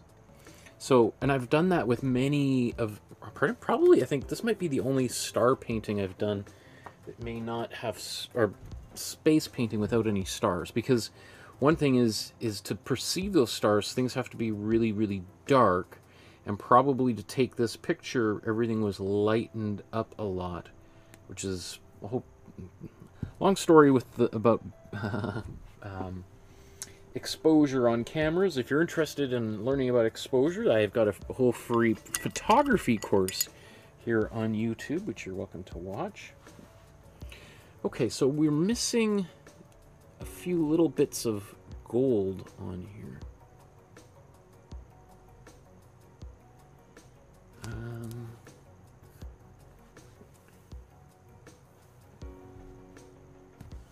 come on, let's focus. There we go. So let's get that gold record on here. Let's say, let's take some cool yellow to start.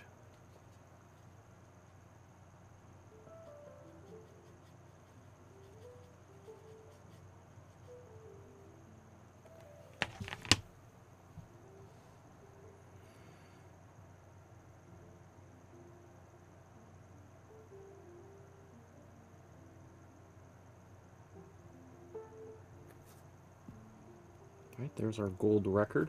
Now I might, I, I don't know, actually I was planning on adding some warm yellow on there, but let's just hold off just for a second. Let's just see.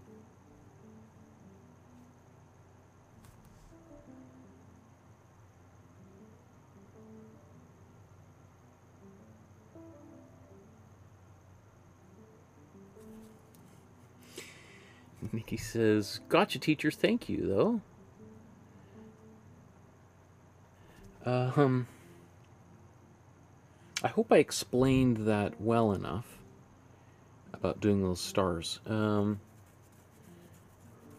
and I think you want them to be mostly small, but then you also want variety. You want some that are bigger and smaller. I think that would also help. That will give it. Uh, help make them look like some are closer, farther away, bigger or smaller.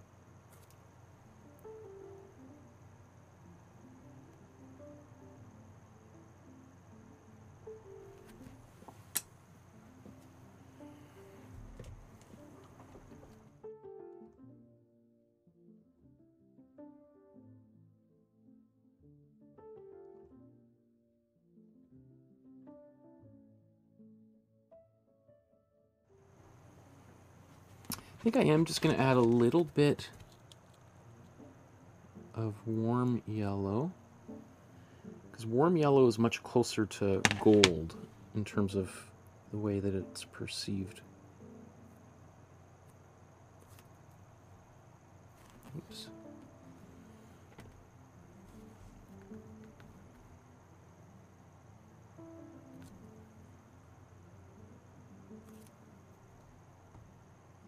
Okay.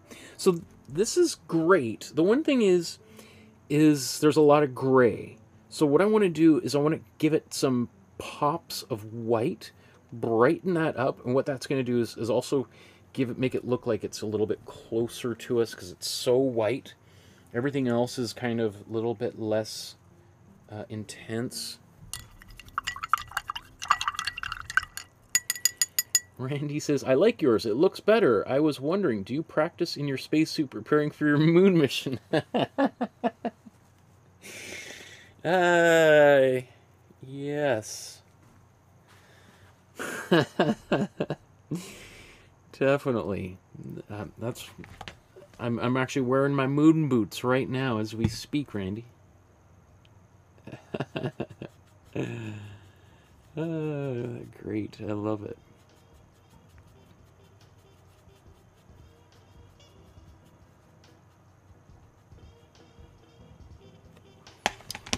Okay, so one thing I uh, what I'm doing here is sometimes if I when I wipe clean my brush off in the water, sometimes water's still on there and then it starts to drip down and then I get a little puddle on the canvas. So just trying to prevent that. So I'm just gonna continue to brighten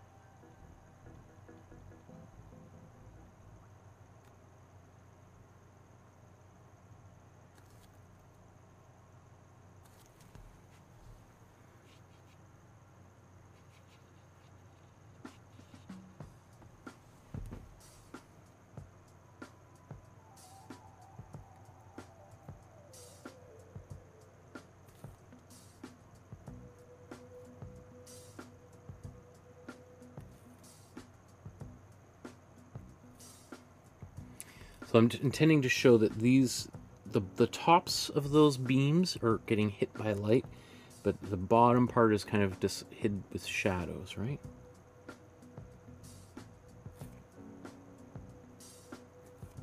And a little bit of what I'm doing here is, is what um, Thomas Kinkade, like him or, or loathe him. I did an episode on Thomas Kinkade for Christmas the first year I was doing these streams.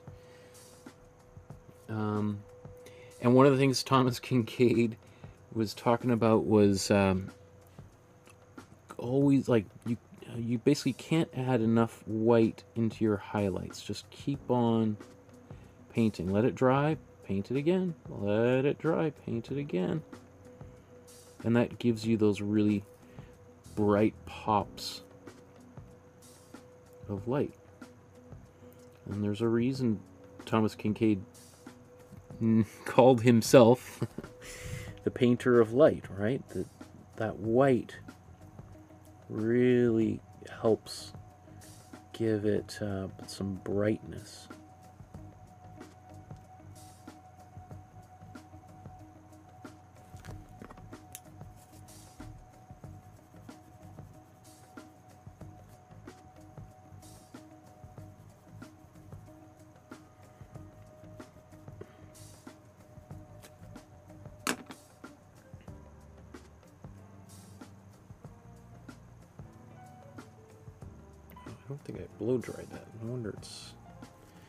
Not behaving the way I expected it to.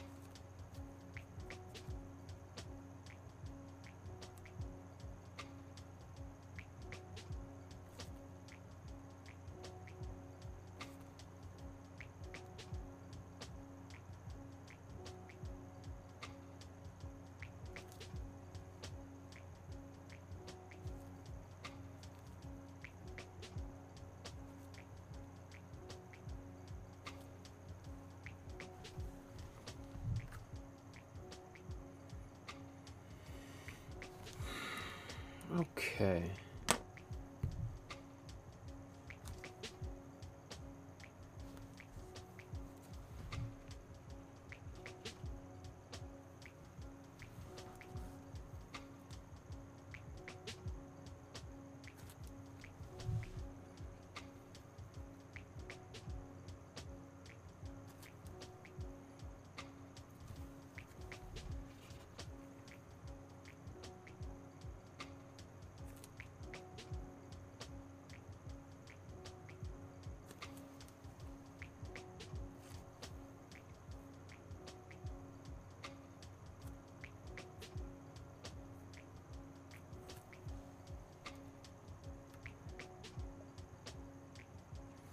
There is obviously more stuff going on all over the place in this thing, but... Uh...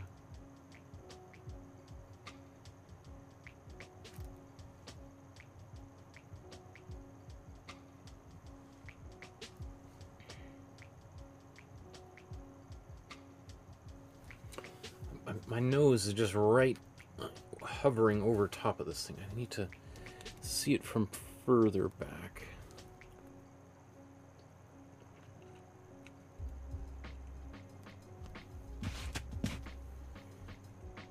Think I can walk away. I mean, there's little things in the in the black that drive me nuts. I'm hoping as it dries that will kind of not become such an issue. Um,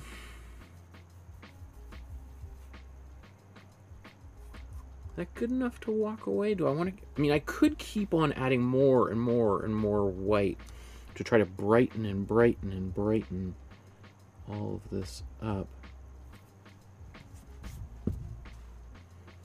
I think...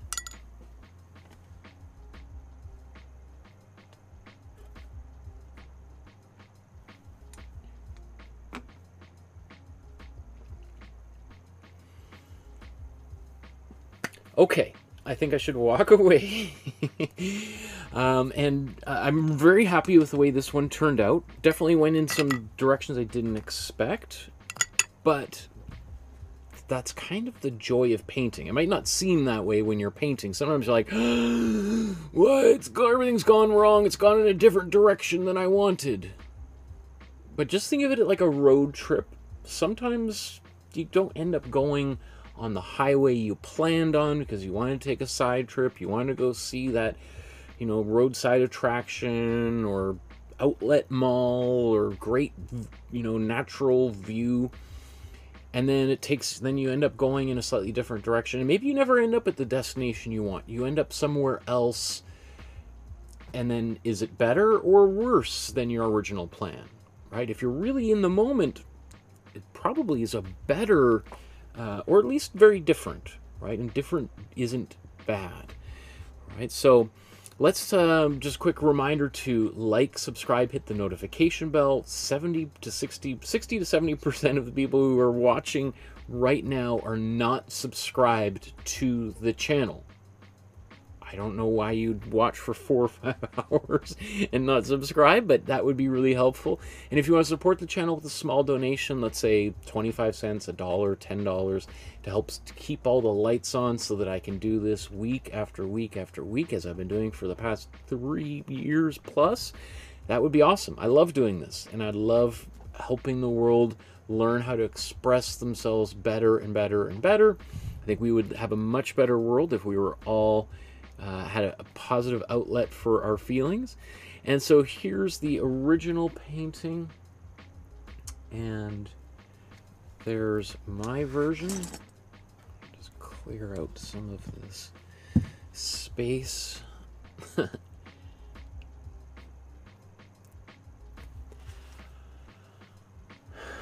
okay. Definitely turned out different than I was expecting.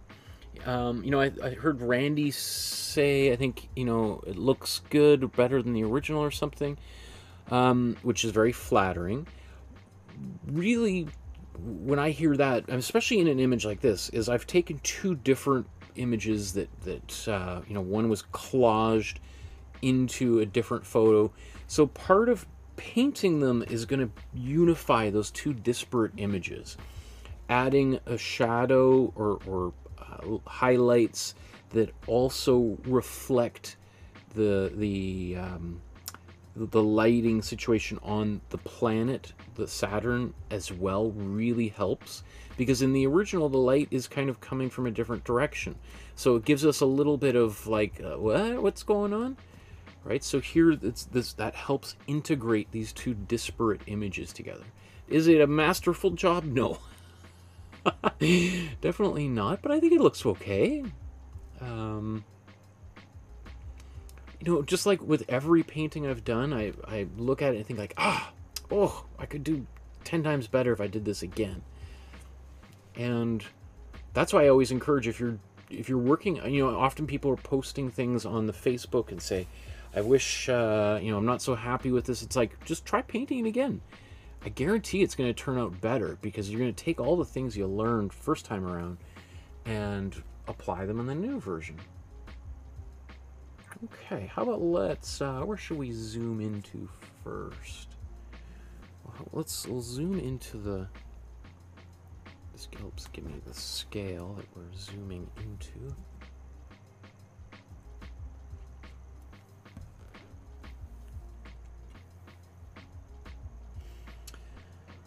Okay, and how about let's start with the rings. We'll go to the rings of Saturn.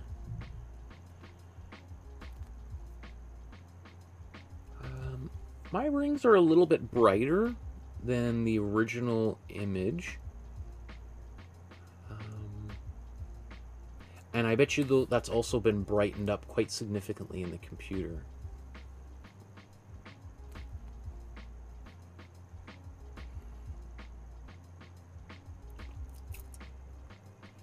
I mean, we are talking millions of miles away from the sun. So, so some of that, those are going are existing in very dark, dark shadow. So I've kind of amplified them a little bit. It, again, it's also important to remember that this is brighter, about 15, 20% brighter than it actually is. Um, you know, I did all these little dots. I mean, yeah, a bunch of them I, I could have maybe omitted them, but they're just intended just to kind of maybe little pops, highlights of light reflecting off certain uh, larger rocks. So now let's go to Jupiter, or not Jupiter, Saturn itself. Um, obviously, some of the striping is, I've just taken some liberties there we can see underneath that yellow, remember that was the imprimatura, and then I put my blue, I basically painted the whole thing a cool blue, and right here is where, instead of letting it, you know, blow drying it, I kept painting and it pulled some of that paint off. However, despite how upsetting and frustrating that is, it does now give it a little bit more nuance, that if it was just a totally flat shape, it might have or not flat, like just consistent blue, it might have looked more like a beach ball. So here now that starts to appear maybe is that a land mass and then some kind of, I don't know, helium or nitrogen, uh, you know, ocean or something surrounding it. So, you know, as I said, that's feel like to, for me is like the definition of of the uh, happy accident, as Bob Ross used to say. I mean, so here, what? I mean, I didn't. I was. I did notice that, but I forgot to kind of think about it or paint it. Like, what is that? Those vertical or diagonal, almost vertical uh, lines. I'm pretty sure are not in the original image. Those are probably scan lines from the video camera or on there. Um, again, you can see all these little this texture kind of coming through. I think that actually kind of works. Maybe instead of it being straight. Maybe they could have been a little bit more curved because they do kind of counteract the the shape of the planet in the same way that the original photograph does. So, but it's you know this is a okay. So what we see here, for instance, is the benefit of having a little bit of a texture on the canvas that we see the little bit, you know, the weave of the canvas, some of the brush strokes, and by glazing over top of that, it actually brought it out.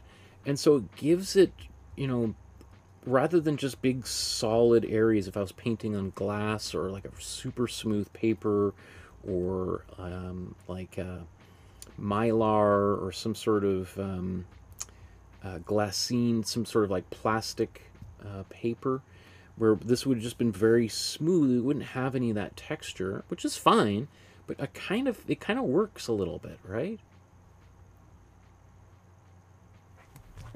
It's the same reason that you know some some people when they draw like to use a sketchbook that has a very textured surface. Again, I think all that works. Maybe I could have gone a little bit closer to the edge, especially at the top here where it should be much darker. That could have I could have, you know, um, darkened that there, um, but it's okay. I, I don't think it's the world's going to come to an end because of that omission. And then we've got Voyager 1 there. Looks like so that little bit of that's texture from when I originally painted in my underpainting. So you can see that little bit of highlight. You know, maybe we'll just say that's a different that's maybe that's earth. That's a little that's earth. Way back there, that little reflection. Um, so there's obviously lots of detail in the in these armatures, these big beams.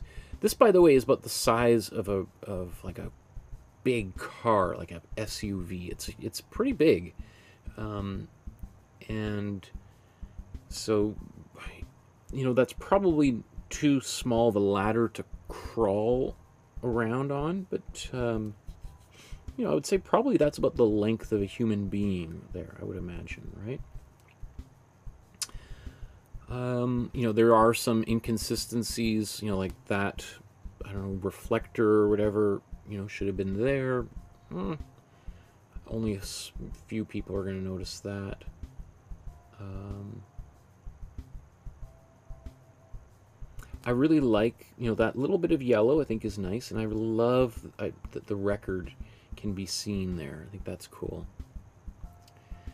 Um, and then just lastly, these kind of straight lines here that I showed you how to do that with a ruler.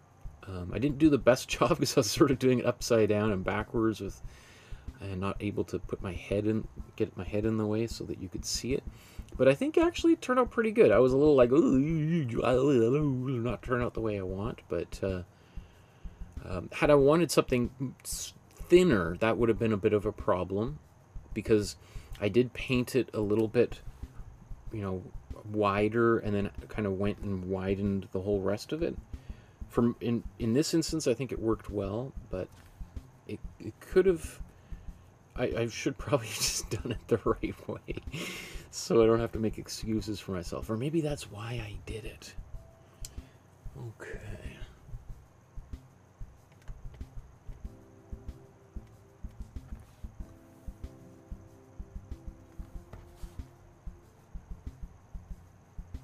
That's cool. I like those colors a lot.